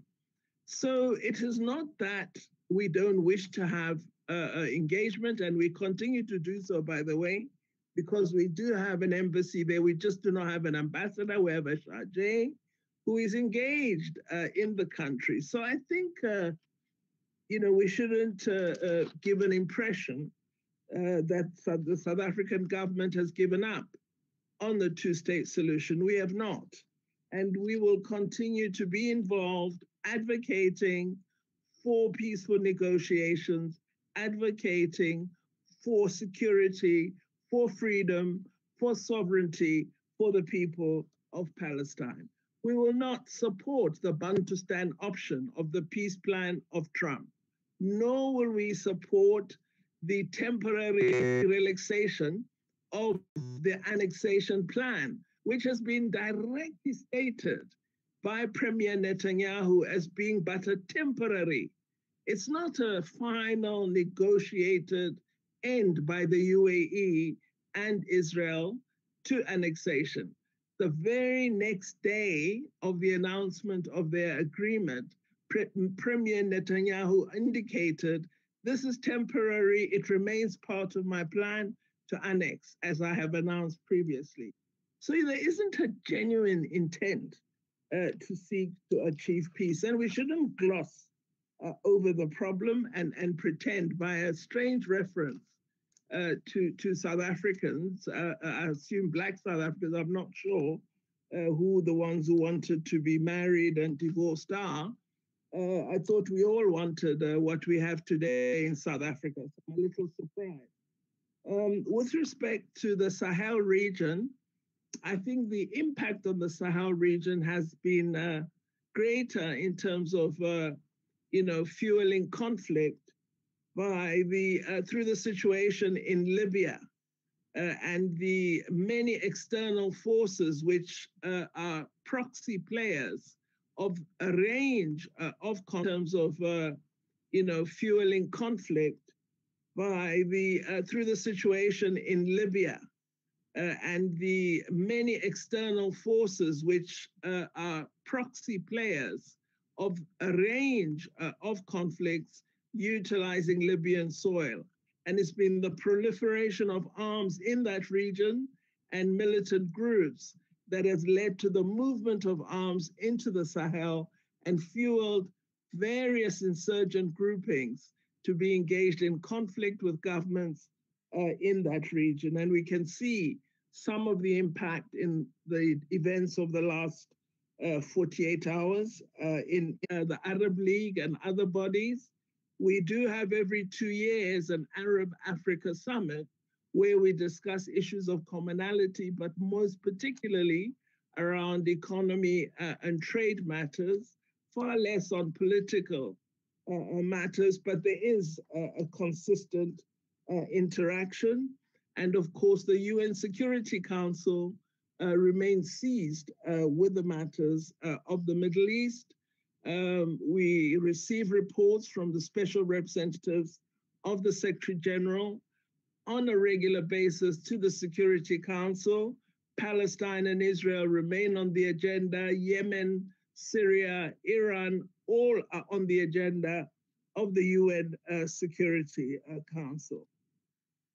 On um, Mr. Hendrick's comments, well, thank you very much uh, for those comments. I think that uh, the idea of drawing in other regions to the African uh, portal on medical supplies for COVID-19 is one that we'll certainly uh, discuss with our friends in the region and we'd also look at how they might benefit from what has been a very good initiative started by President Ramaphosa as chair uh, of the uh, AU.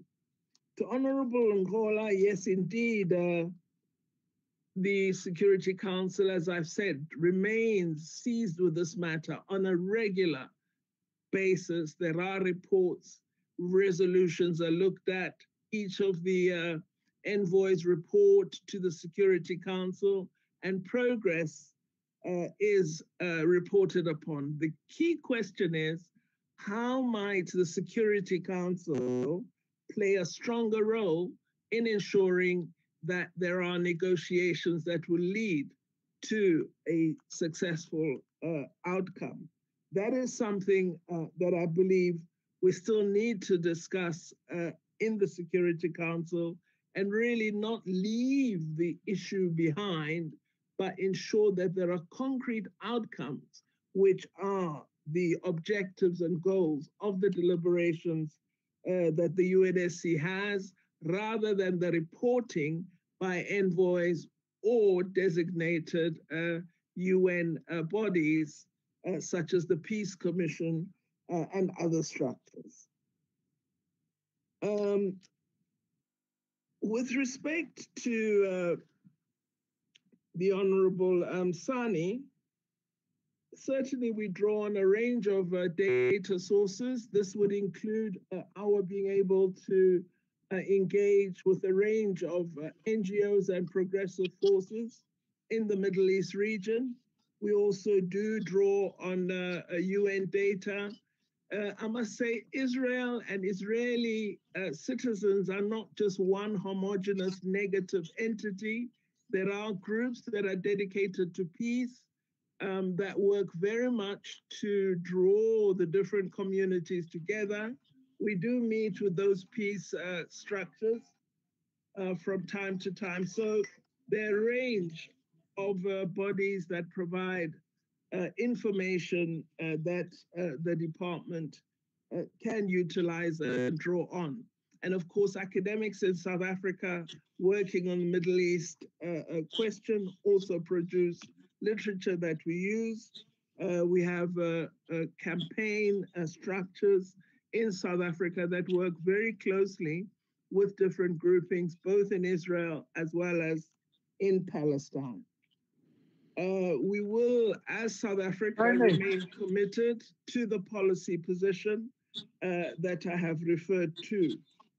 Um, I have not uh, had any indication uh, from colleagues that I speak to that they view South Africa as biased. In fact, the uh, information I get and the approaches are that South Africa is believed to be a, an important interlocutor, and all would like to see South Africa engaged in the processes of drawing the parties together. And we talk to all parties, but our stance and policy position is very clear we do not support the breach of United Security Council, United Nations Security Council resolutions. We are still in the belief that a two-state solution is the objective and that that is the direction that should be pursued. And so uh, we work on that basis with whichever group we engage with. It's a very important uh, policy platform and we should not deviate uh, from it. Um, I think, uh, Honorable Swartz, there are a range of steps. Uh, we are engaged on a consistent basis, as I said, with a range uh, of groupings. But what I believe needs to happen is there has to be a very strong civil society movement that supports the pursuit of peace. I think more and more civil society organizations, from all uh, the countries in the region, as well as organizations in South Africa, on the continent, and in the broader South, need to draw together to mount a global campaign in support of the cause of the people of Palestine and the people of Israel for peace, security through a two state solution where each has its sovereign land and has status that any nation should enjoy. Any solution other than that cannot be promoted by any person. And that remains the standpoint that we as DIRCO pursue and advocate in whatever platform we have the opportunity uh, to engage on. Thank you very much, Chairperson. I don't know if uh, Ambassador Makina wants to add, but uh, he's most welcome to do so because they are far more experienced uh, at this than I am, Chairperson. Thank you very much. Thank you so much, uh, Minister Ambassador. Honorable Chairperson, I must say that the, the Minister has really covered all the, the questions almost that, that were raised. I could just uh, quickly take up the, the, the part that uh, Honorable Nkosi had asked about the, the role of the regional bodies in the in the situation of the of the I, I, if, if I got you correctly, Honorable, because it was about the situation of the the inputs in in, in the unresolved uh, conflict in the Middle East, and uh, the notable uh, regional bodies that are that that are bordering the Middle East would be the notably would be the GCC and probably uh, then the Arab League.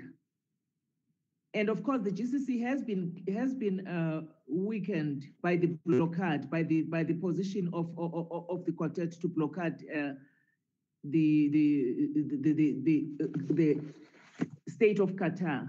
As a result, there has not been any significant interaction of the GCC that would that would that would be inclusive and have a, a, a- stance to in terms of how to approach the conflict in the region. But the ag- the agreement that has been signed between Israel and UAE is a precursor to things that we may we may uh, that um, are that we are crossing our fingers or rather putting our also our ears on the ground to see where that will be leading to because UAE being part of the GCC and signing a, a- an agreement with Israel, which also insinuates to, to want to also bring in the solution of the Palestine-Israel uh, occupation is also going to be interesting for us. And probably notably to say that in terms of the Arab League, uh, we have seen just recently an announcement by Sudan saying that they are in peace talks with Israel. We do not know whether that agreement between the UAE and uh, and Israel was not a precursor, or rather, yes, I would say a precursor to things to come in terms of the position of the of, of Arab countries, or rather the the, the, the regional states. We are really tuned in to see what next is going to come the, the well probably the, also you were asking also about the impact on the Sahel. The minister has covered it very well, but then also again just to say that uh, the Sudan indication that they are signing with Israel also is beginning to tell us what to make us to to anticipate anything in so in so far as whether they are going to move as a pack or whether we still have an opportunity to, to prevail. But insofar as the AU is concerned, the AU is not confused in terms of how it stands uh, in relation to the to, to, to the conflict in the, in, the, in the region and all the conflicts, in fact, in the region as they as, as they present themselves so far. Uh, I think the minister really covered everything ably. Uh, although she always says that we are more experienced than her, you know, the minister is amazingly very much on top of the issues in in in in, uh, in the Middle East. Not uh, not amazingly in the sense of being amazed, but quite remarkably and also very much on on, on, on, on her fingertips in terms of the region is concerned. Uh, UNIFIL, uh, Honorable Msane, the, this is the, the, the position of, of the UNSC and South Africa as uh, being the chair presently of UNSC is that UNIFIL has been, has held uh, at bay many conflicts that could have happened had it not been there. So we support the extension of the of, of, of the UNIFIL to, to, to to the extension of the of the tenure of UNIFIL in the in the region. We, we, we are not having major problems with that. You also asked Honorable Sane for us to look in the in, in- into the in, in, the crystal ball as to whether the the the likely taking over of the Democratic Party uh, in, in the US, whether it is going to change the situation or the positions that have already been taken by the, the Trump administration. Well, I can, we can only say in South Africa that we will wait to see. We, we don't have a crystal ball to look into that, but it will really be interesting to know because if you were to to say more to that, really you, you may err to to to over to, to either underestimate or overestimate the role of, of, of, of- of the Democratic Party in the affairs. The only thing that could indicate to you clearly would be to say uh, what did the, the DA, I'm sorry, the DP, the Democratic Party, what did what did the- the Democrats say? What was their position in with respect to the to, to the announcement of, of, of the deal of the nation, then that would give you a clear position as to whether the Democratic Party is going to go le- uh, left or right in the in the matter. Thank you very much, Honorable Chair. Uh, thank you uh, very much, uh, Ambassador. Uh, this uh, presentation that you brought uh, before us today is a very important um, presentation. You can see uh, by the emotions of certain members uh, of the portfolio committee, honorable members are so emotional such that they can't contain their emotions because they want uh, to advance their own political agendas instead of engaging uh, here uh, because this is a platform to engage the department instead of raising emotions. Honorable Bergman, I don't take kind to sarcasm. I'm not scared of you. So don't do that thing again. That thing that you wrote in that chat, I don't take kind to it. Allow me to chair this meeting. I have no co-chair in a form of yourself. So don't you ever think that I'm scared of you. The platform is yours. Chair, thank you very much. Um, I must just say that uh, it's quite dangerous though if we start allowing members to talk about, to, to misrepresent other people's um, inputs and then the chair protects them and not the other member because then you are starting something that we're not going to be able to finish and that's a horrible trend so it's not about uh, i'll take i don't take kindly to your threats either um, i'm going to just say that if you look Order, order, Chair. Order, Chair. Order, Chair.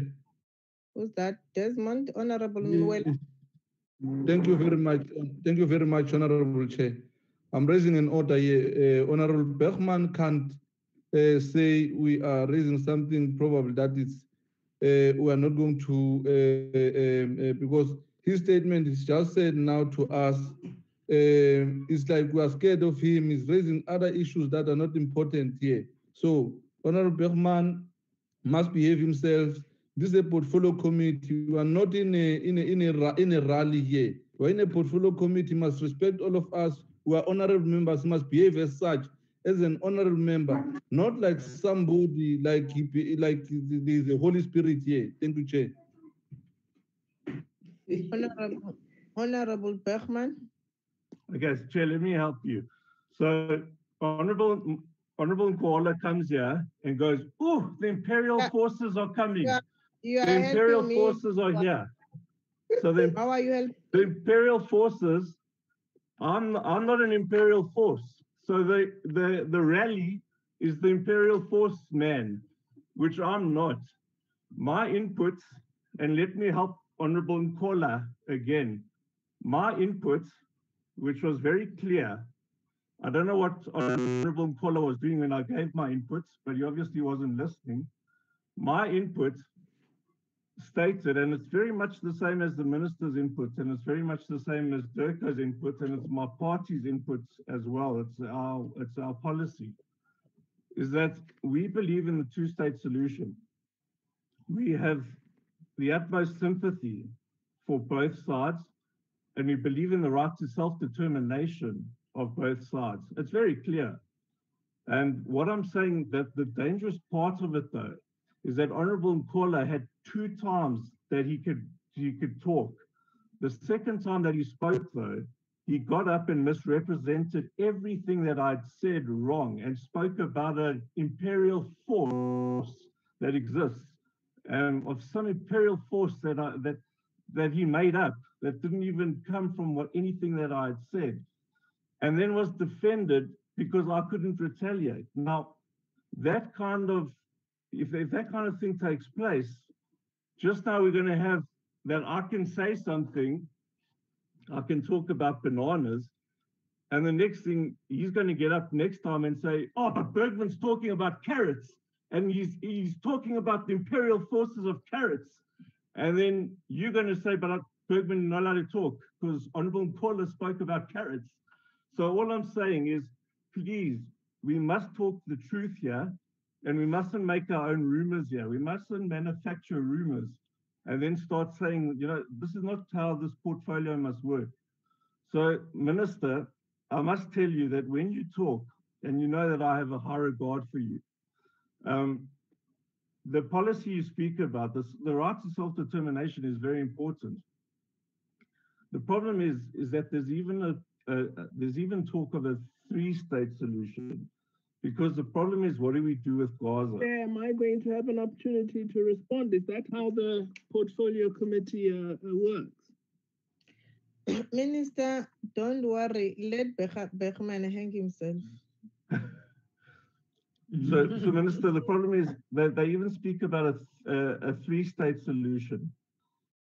And in that three-state solution, they talk about what happens with Gaza and or how to connect Gaza and the Palestinian Authority or the Palestinian territories in a way that um, the two governments, Hamas as a government and the Palestinian Authority as a government, the Fatah government, how do we get them to work either as a government together or as a um, or, you know, or negotiate the, you know, negotiate one party together.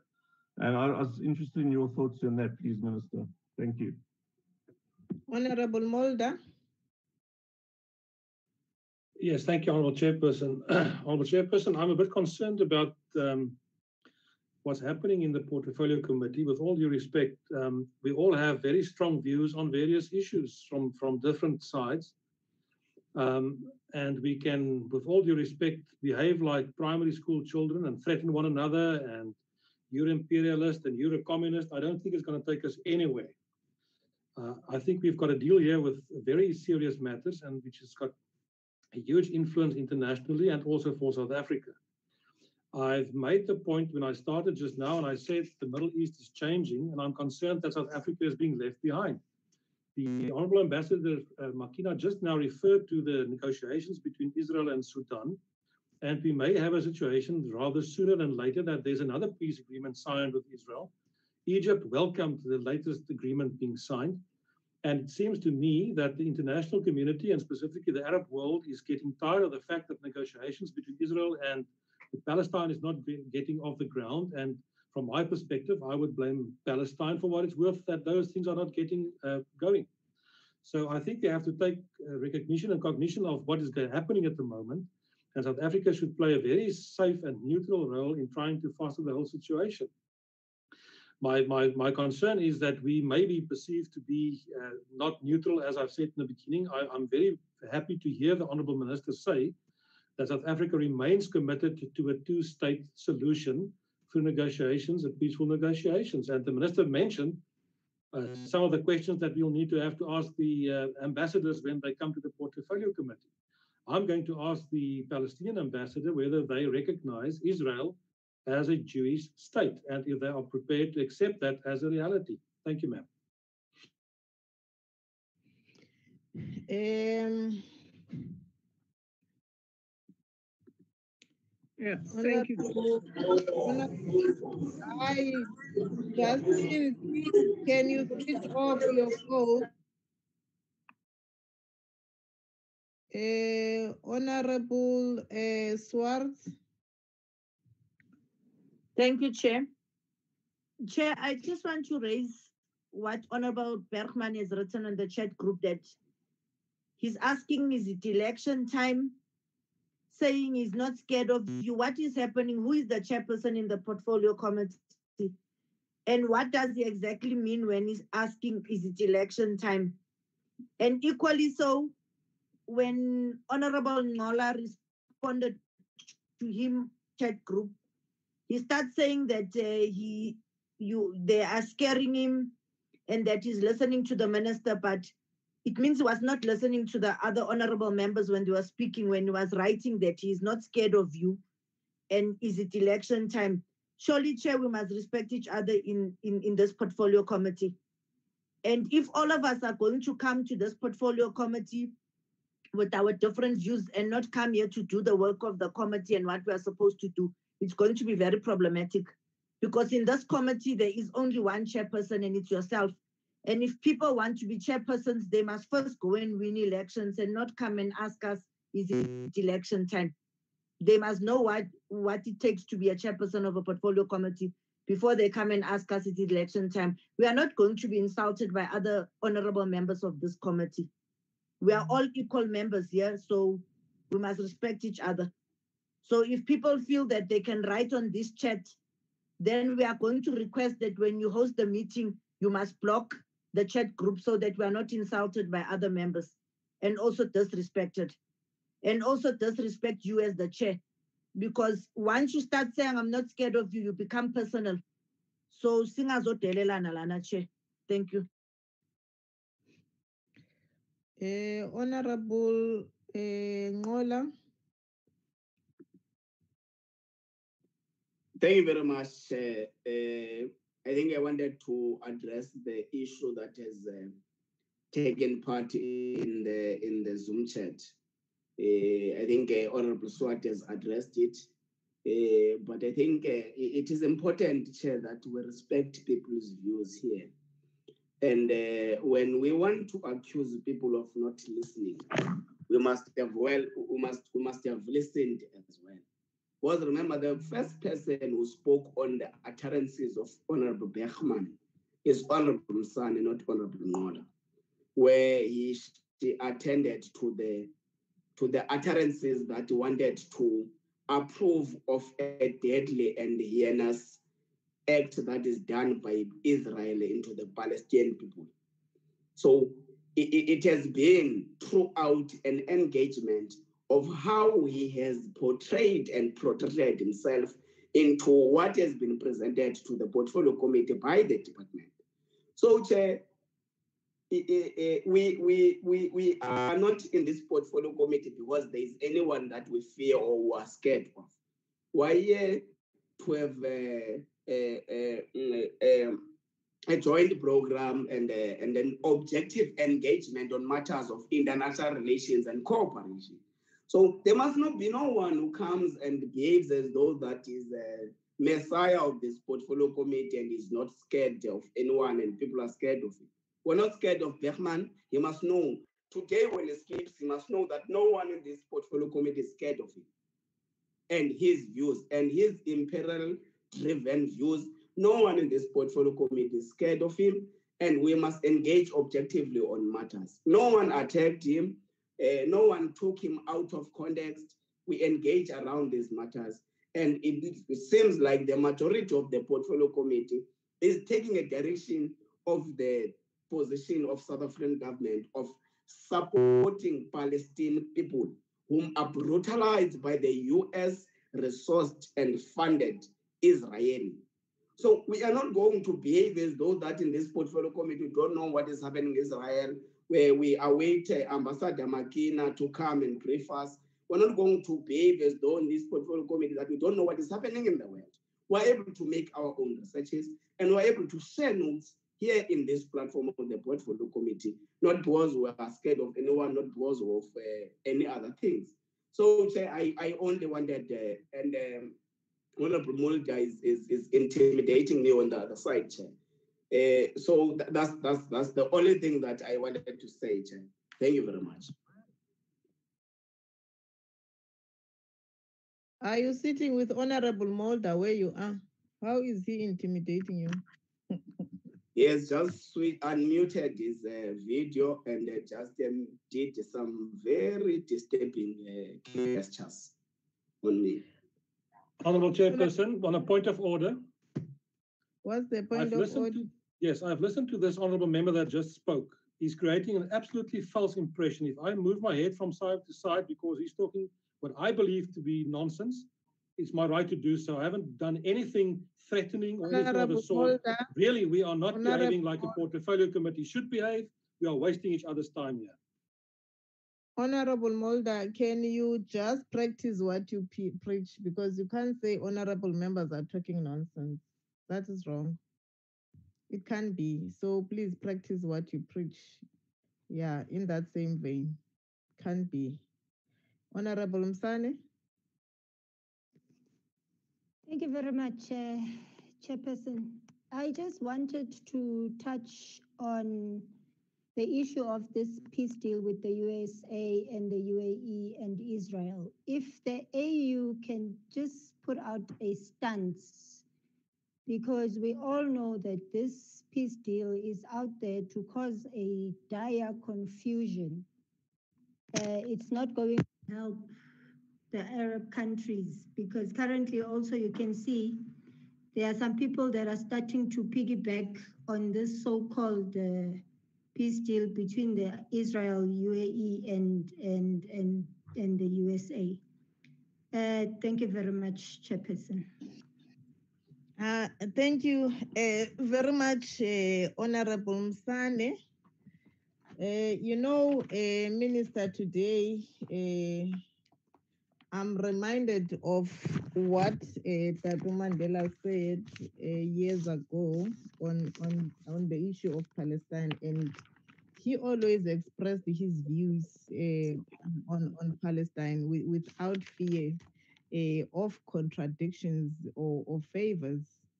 Uh, he said that in extending our hands across the miles to the people of Palestine, we do so in the full knowledge that we are part of a humanity that is at one.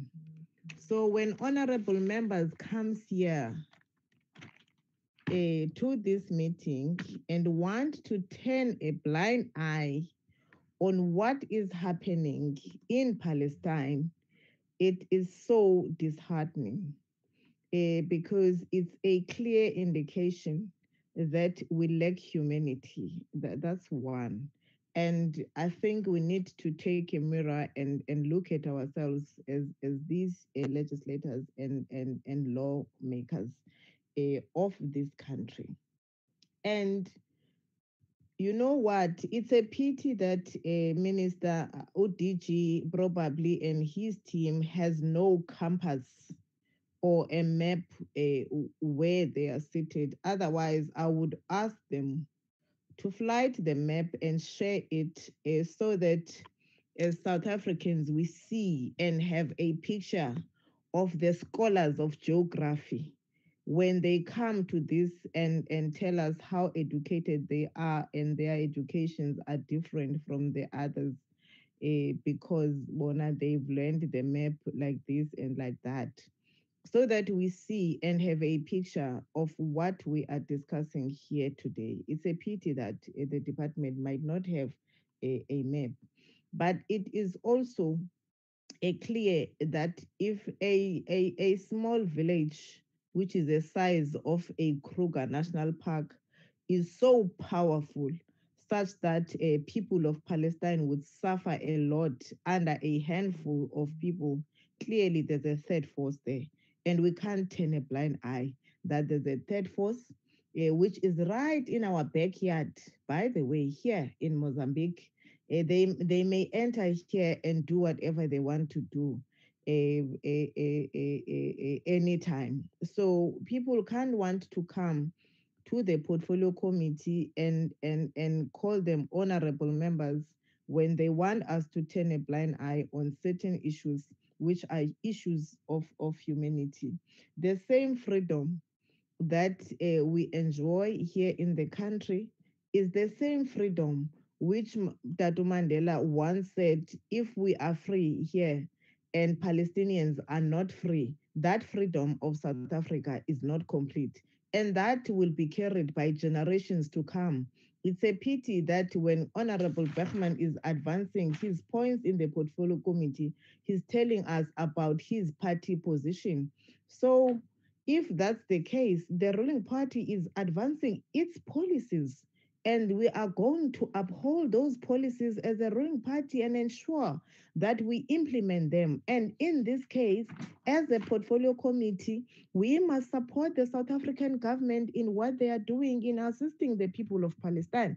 We must not come here and and and and and be and be emotional about these issues because there is nothing to be emotional about. Uh, by the look of the presentation and what the minister has um, presented to us in response to our questions, clearly our government is in the right direction. So, as Parliament and as this portfolio committee, we must support what our government is doing. So, let us not be emotional about these issues. Minister, is there anything you want to uh, say on, on what the honorable member said in the round two? Well, uh, Thank you uh, very much, Chairperson. Uh, Mr. Bergman mentioned something about a three-state solution. Um, I'm not sure where uh, he gets that, but I know that uh, both uh, uh, Fatah and Hamas would not agree to such a position. We are supportive of a two-state solution, which is the reiterated position of most member states of the United Nations, and that is the policy position that is being pursued by the government of South Africa. As to uh, the Honorable Mulder saying he blames Palestine for no progress, well, I, you know, the weak are always uh, uh, being blamed those without arms, those without territory, those without rights, those who have to hold a dom pass, those who cannot uh, uh, school, who cannot farm. Uh, they are often blamed for being victims of those who use their power to abuse and to oppress. Uh, we believe in a two state solution where the Palestinian people enjoy self determination and independence, and where they have a contiguous territory, which is their sovereign territory, with East Jerusalem as the capital of the state of Palestine. That is the policy position that we hold as the government of South Africa. And uh, it certainly does mean we, we are not neutral. We are not neutral. We support the cause of the people of Palestine.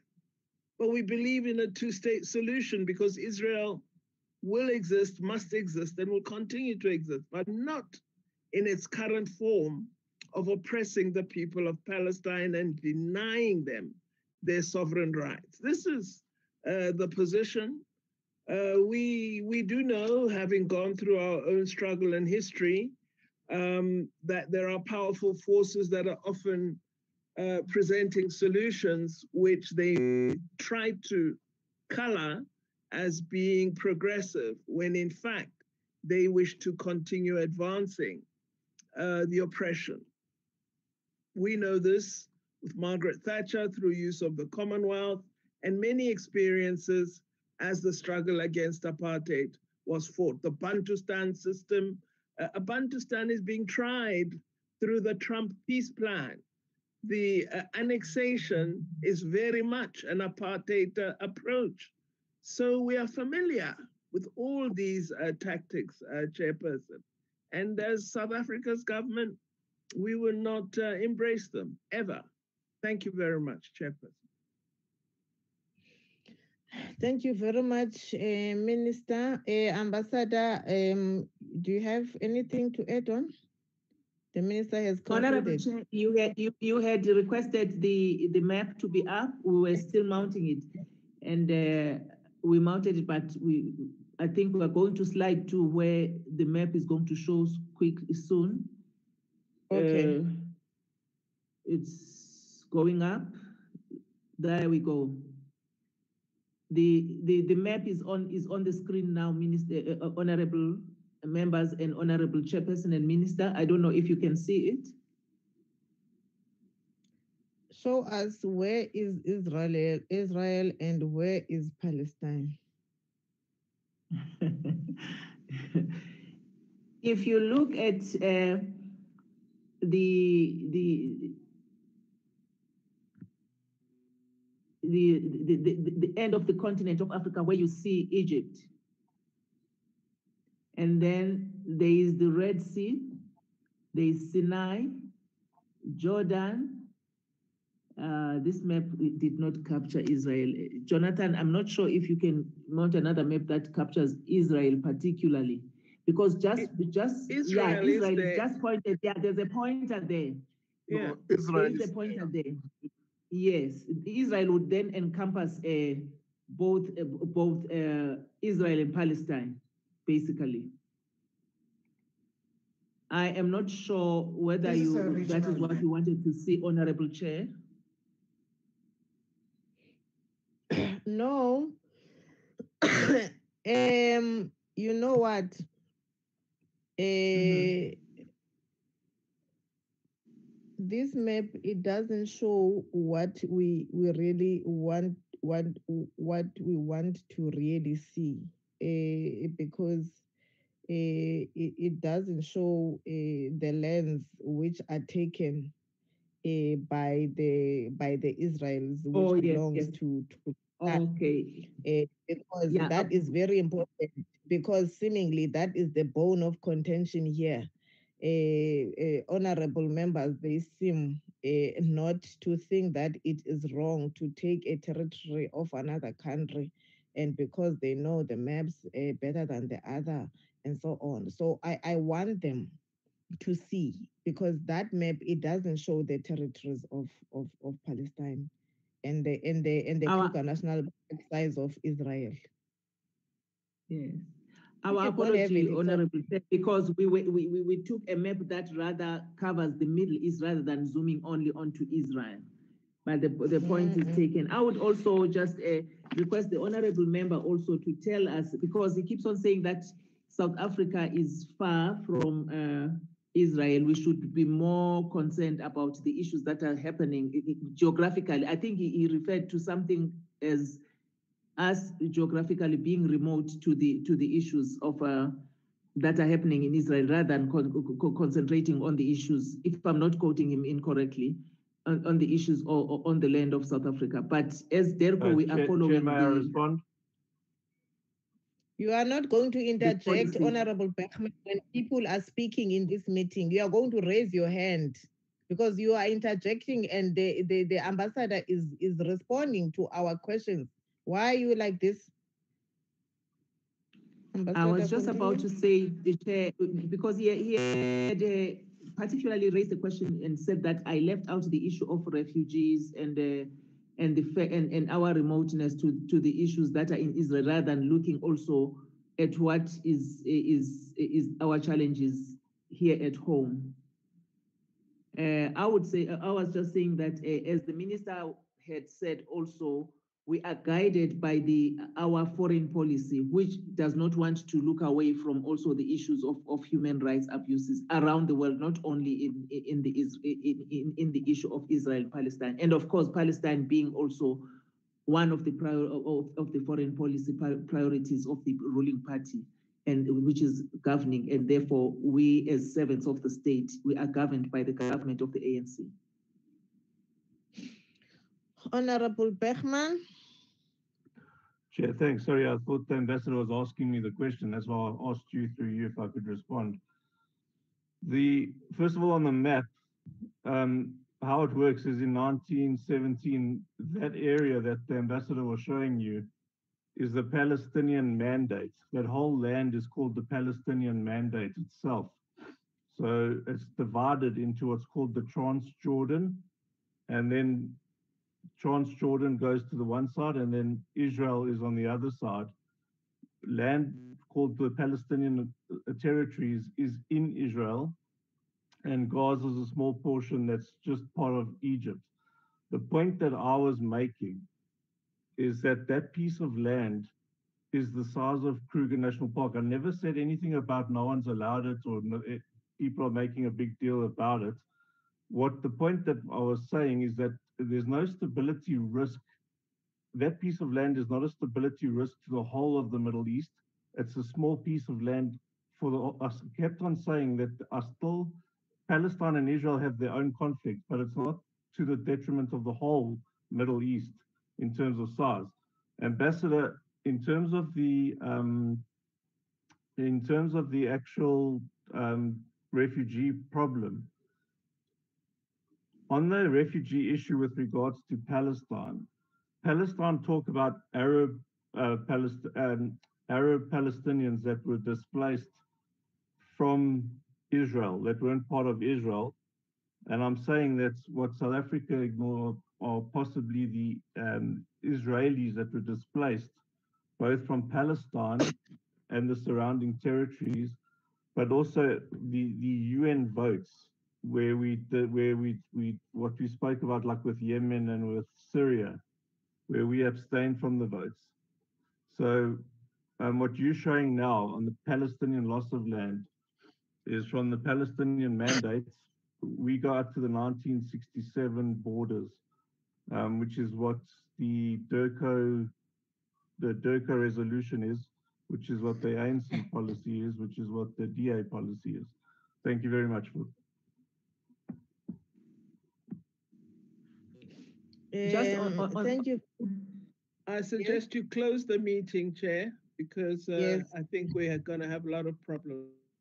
Yeah, I think no, one Minister. I was Uh, Minister, uh, I think I we really, we really need to close the meeting, not unless Honorable Nkosi, there is fundamental issue that you want to raise. No, Chair, I think let's close the meeting. Yes. Whip, is there any fundamental issue that you want to raise? Whip? I'm covered, Chair, covered. You are covered, yes. Um, we we must close the meeting and uh, as the portfolio committee agree that we are going to support our government uh, in, in, in, in, in what they are uh, doing uh, in terms of the interventions in Palestine and two-stage um, um, solution is the way to go and we are not going to sit and fold our arms when we see an apartheid style of of of of of of, of governance uh, in other parts uh, of the world implemented to the friends of our revolution. Uh, so we, we need to be firm uh, on that uh, as this portfolio committee because we are humans and if we talk humanity it will start by ensuring that the lives of the people of palestine are protected and those people have freedom and all their territory which is taken is going to uh, be regained back uh, to them whether it's through negotiations uh, or what whether we feel otherwise or not, we are supporting our government irrespective of how we feel as, as certain individuals here. So that should be the stand uh, of the portfolio committee uh, moving forward uh, on the issues of Palestine. Um, this meeting, Minister, is going to be closed. We are going to consider our minutes of the meeting as the portfolio committee. And um, Lubabalo, you are going to flight uh, those minutes. We are going to do two sets of minutes uh, today. Uh, adopt those minutes because we've got a pile of minutes of the portfolio committee and we are from recess. So it's important that we deal with the next point on the agenda, which is the adoption of the minutes of the portfolio committee. Uh, that's where we are now. Is that in order, honorable members? yes, Chair, of course. Yes, Chair. Honorable uh, uh, Mr. Squella? We need the whole day. When the ambassadors comes, we must have one item on the agenda. This issue of Palestine and Israel. Yeah, and the day just so that Bergman must not get sleepy on the meeting. And, and the department uh, must bring us a proper map, not the one of the Bantustans. We, we want a proper one. Uh, Uh, are you able to, I've projected the minutes, Chair. Yes, we see the minutes. Uh, honorable members, uh, the minutes of the 26th of February 2020 presentation and briefing by DIRCO uh, on South African chair, AU chair. And then the outcomes of uh, the recent AU was, it was recent at the time because it was February now, we it's no longer recent. And uh, browse page one. There are no issues there. Page two.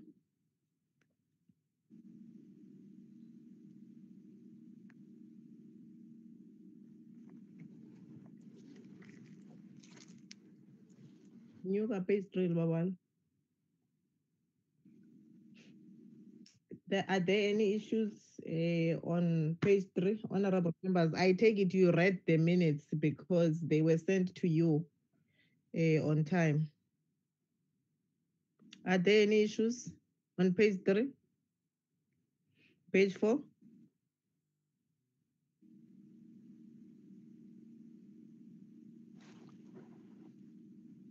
Page four, no, nothing, okay.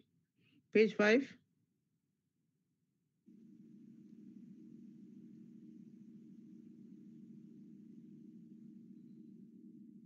Page six?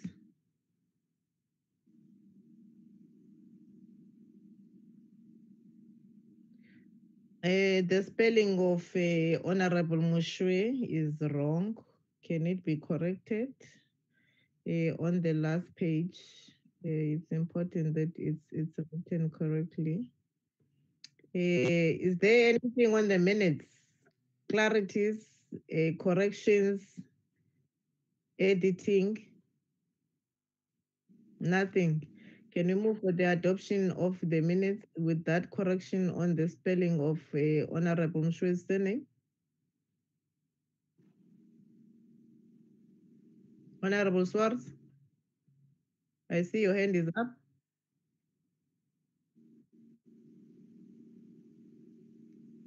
Honorable Swartz? Chair, I move for the adoption of the minutes with the amendment of Mr. Michel's surname. Thank you.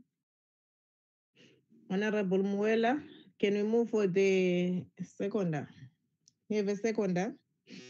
Yes, Honorable Chair, I second that we adopt uh, the minutes as presented with the amendments. Thank you. Thank you so much. Uh, uh, can we have another set of minutes? Um, Mr. Squella?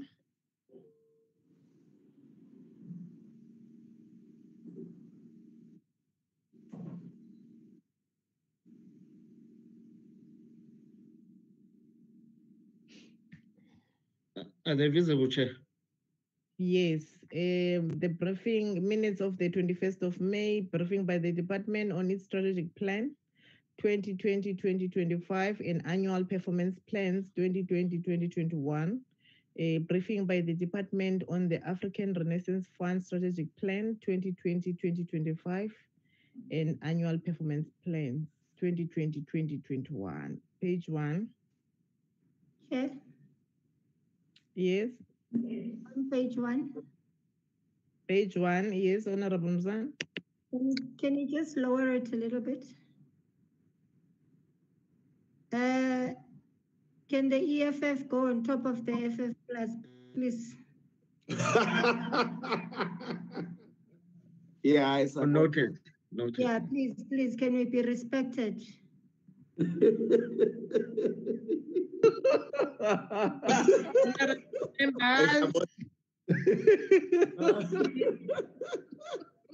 Members, Sane- is addressing issues of protocol. It's, mm, Yes, it's not a joke.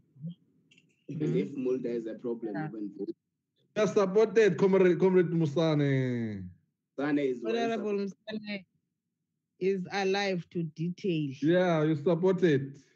Yeah, so uh, page, uh, Jesus, page two. Jesus. Really now? Okay. Now, move uh, first, uh, Mr. Nqola. Content. Yes, introduction. Mm, bullet one. Subaleka kakhulu eh honorable Mr. Nqola. Bullet one, page three. Honorable members.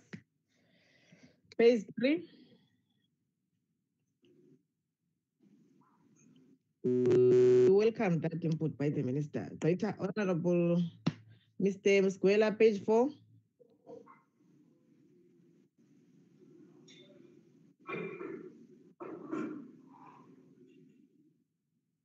Page four, honorable members, can you mute your mics? We are all hungry. We hear uh, Zicha Zakal. Honorable members, can we focus on the minutes? Next page.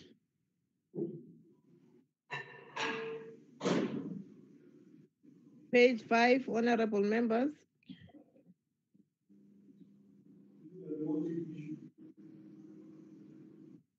Page five, honorable members. Page six.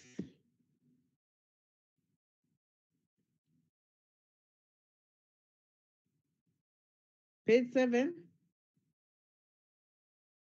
So these minutes are well captured. Page eight.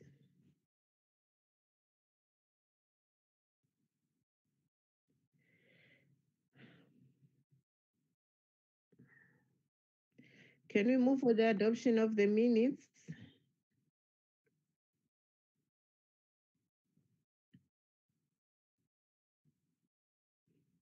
Honorable Nqola,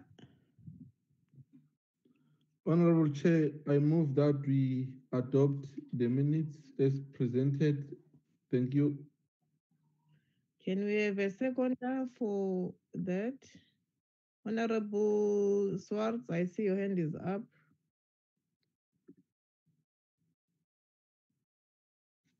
I second the adoption of the minutes, Chair. So yeah, the minutes are adopted and that was the last point eh, on the, on our agenda. Eh, Closing remarks, Minister?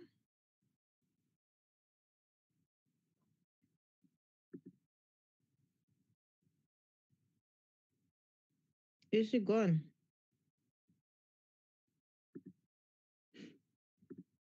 Mm. DM, Botes, closing input.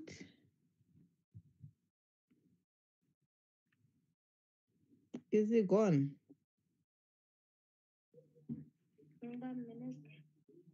Honorable Alvin Botes, are you still here?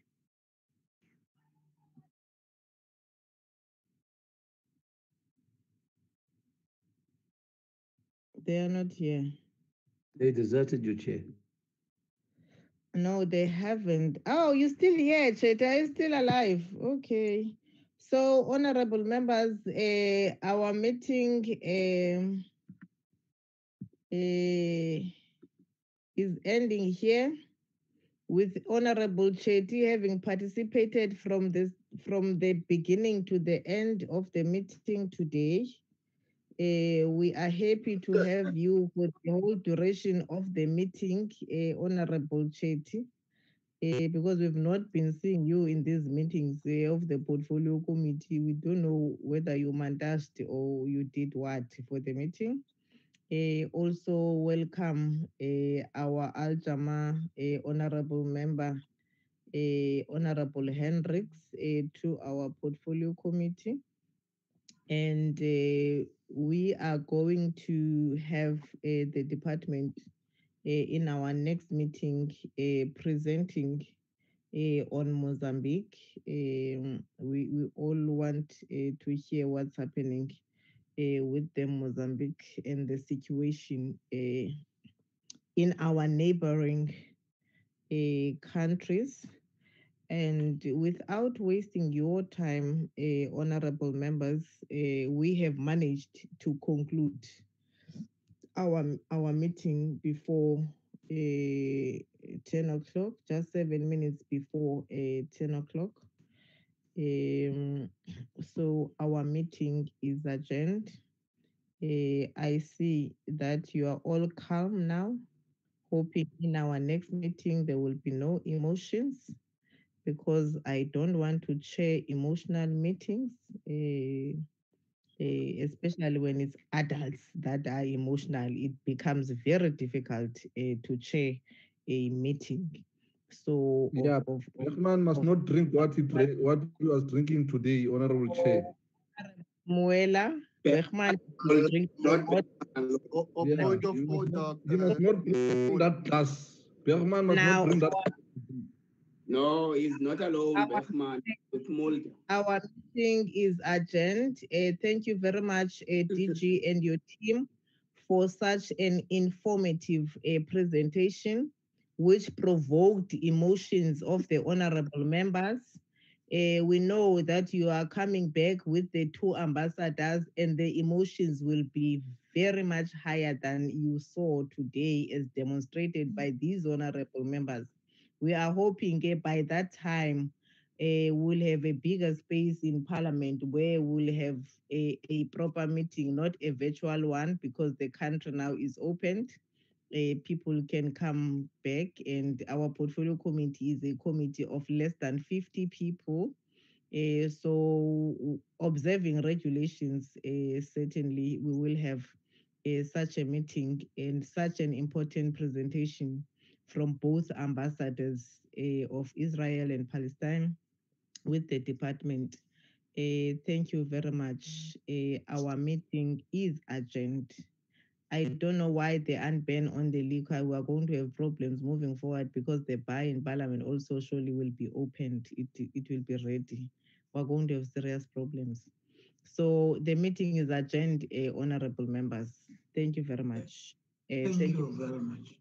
Thank Yeah. you, Chairperson. Amandla. Where's, where's Bergman? Bergman. Emkhaya ugqoka isudu. Where is Mulder? Yeah, and Bergman. Emkhaya where- ugqoka isudu. Emkhaya. Oh, Mulder and Ugqoka Bergman. The meeting has been adjourned. What do you want me to say? Ugqoka isudu Mkhaya.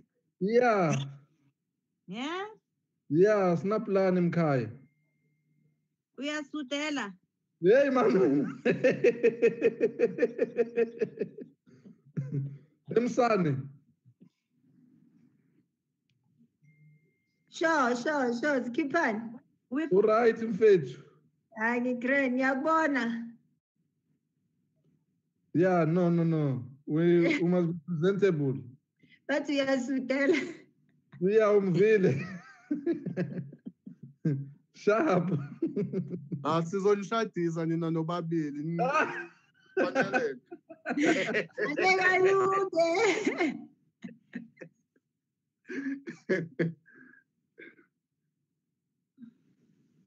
Anilambanga ningayotya nje. Go and eat now. Your wives have cooked for you. Asikalambi. Nifuna uhlala apha nenze ntoni? Hambani. We want to end the meeting, you people. Vamos. ubergman uthi thina sifunde ey'kolweni ezingakabhali angeke Usuphumile silambe yini masinyane emnyameni wesihlalo. I'm out still of in the dark dark. I'm still, I want to sleep. Me, I'm not going to eat. I'm going to sleep because I'm in the darkness. I can't even see food. ubergman Bye-bye with your uthi darkness. atlas siyazi Eh? Hey. Ubergman uthi sifunde ey'kolweni ezirong asazi ma-atlas But guys, please, man. Aniyekela uchukutu. Alvin Botes, where did he go? He Athi left. education Right there. Yeah. Mm, guys. mara Mm. isithombe sakhe sikhona la But yena kako la. I get it. That's what you do. You put your stomach and go shopping. You put your stomach and go shopping. That's what you do. Hmm?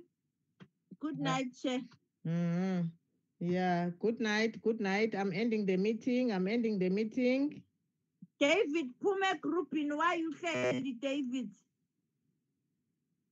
Ah, yekumadlala. Hawu yekani abantu bam. Awwa. Angizophuma mama. Ye yekani umadlala. Wayeka umadlala wamsukela umadlala wena.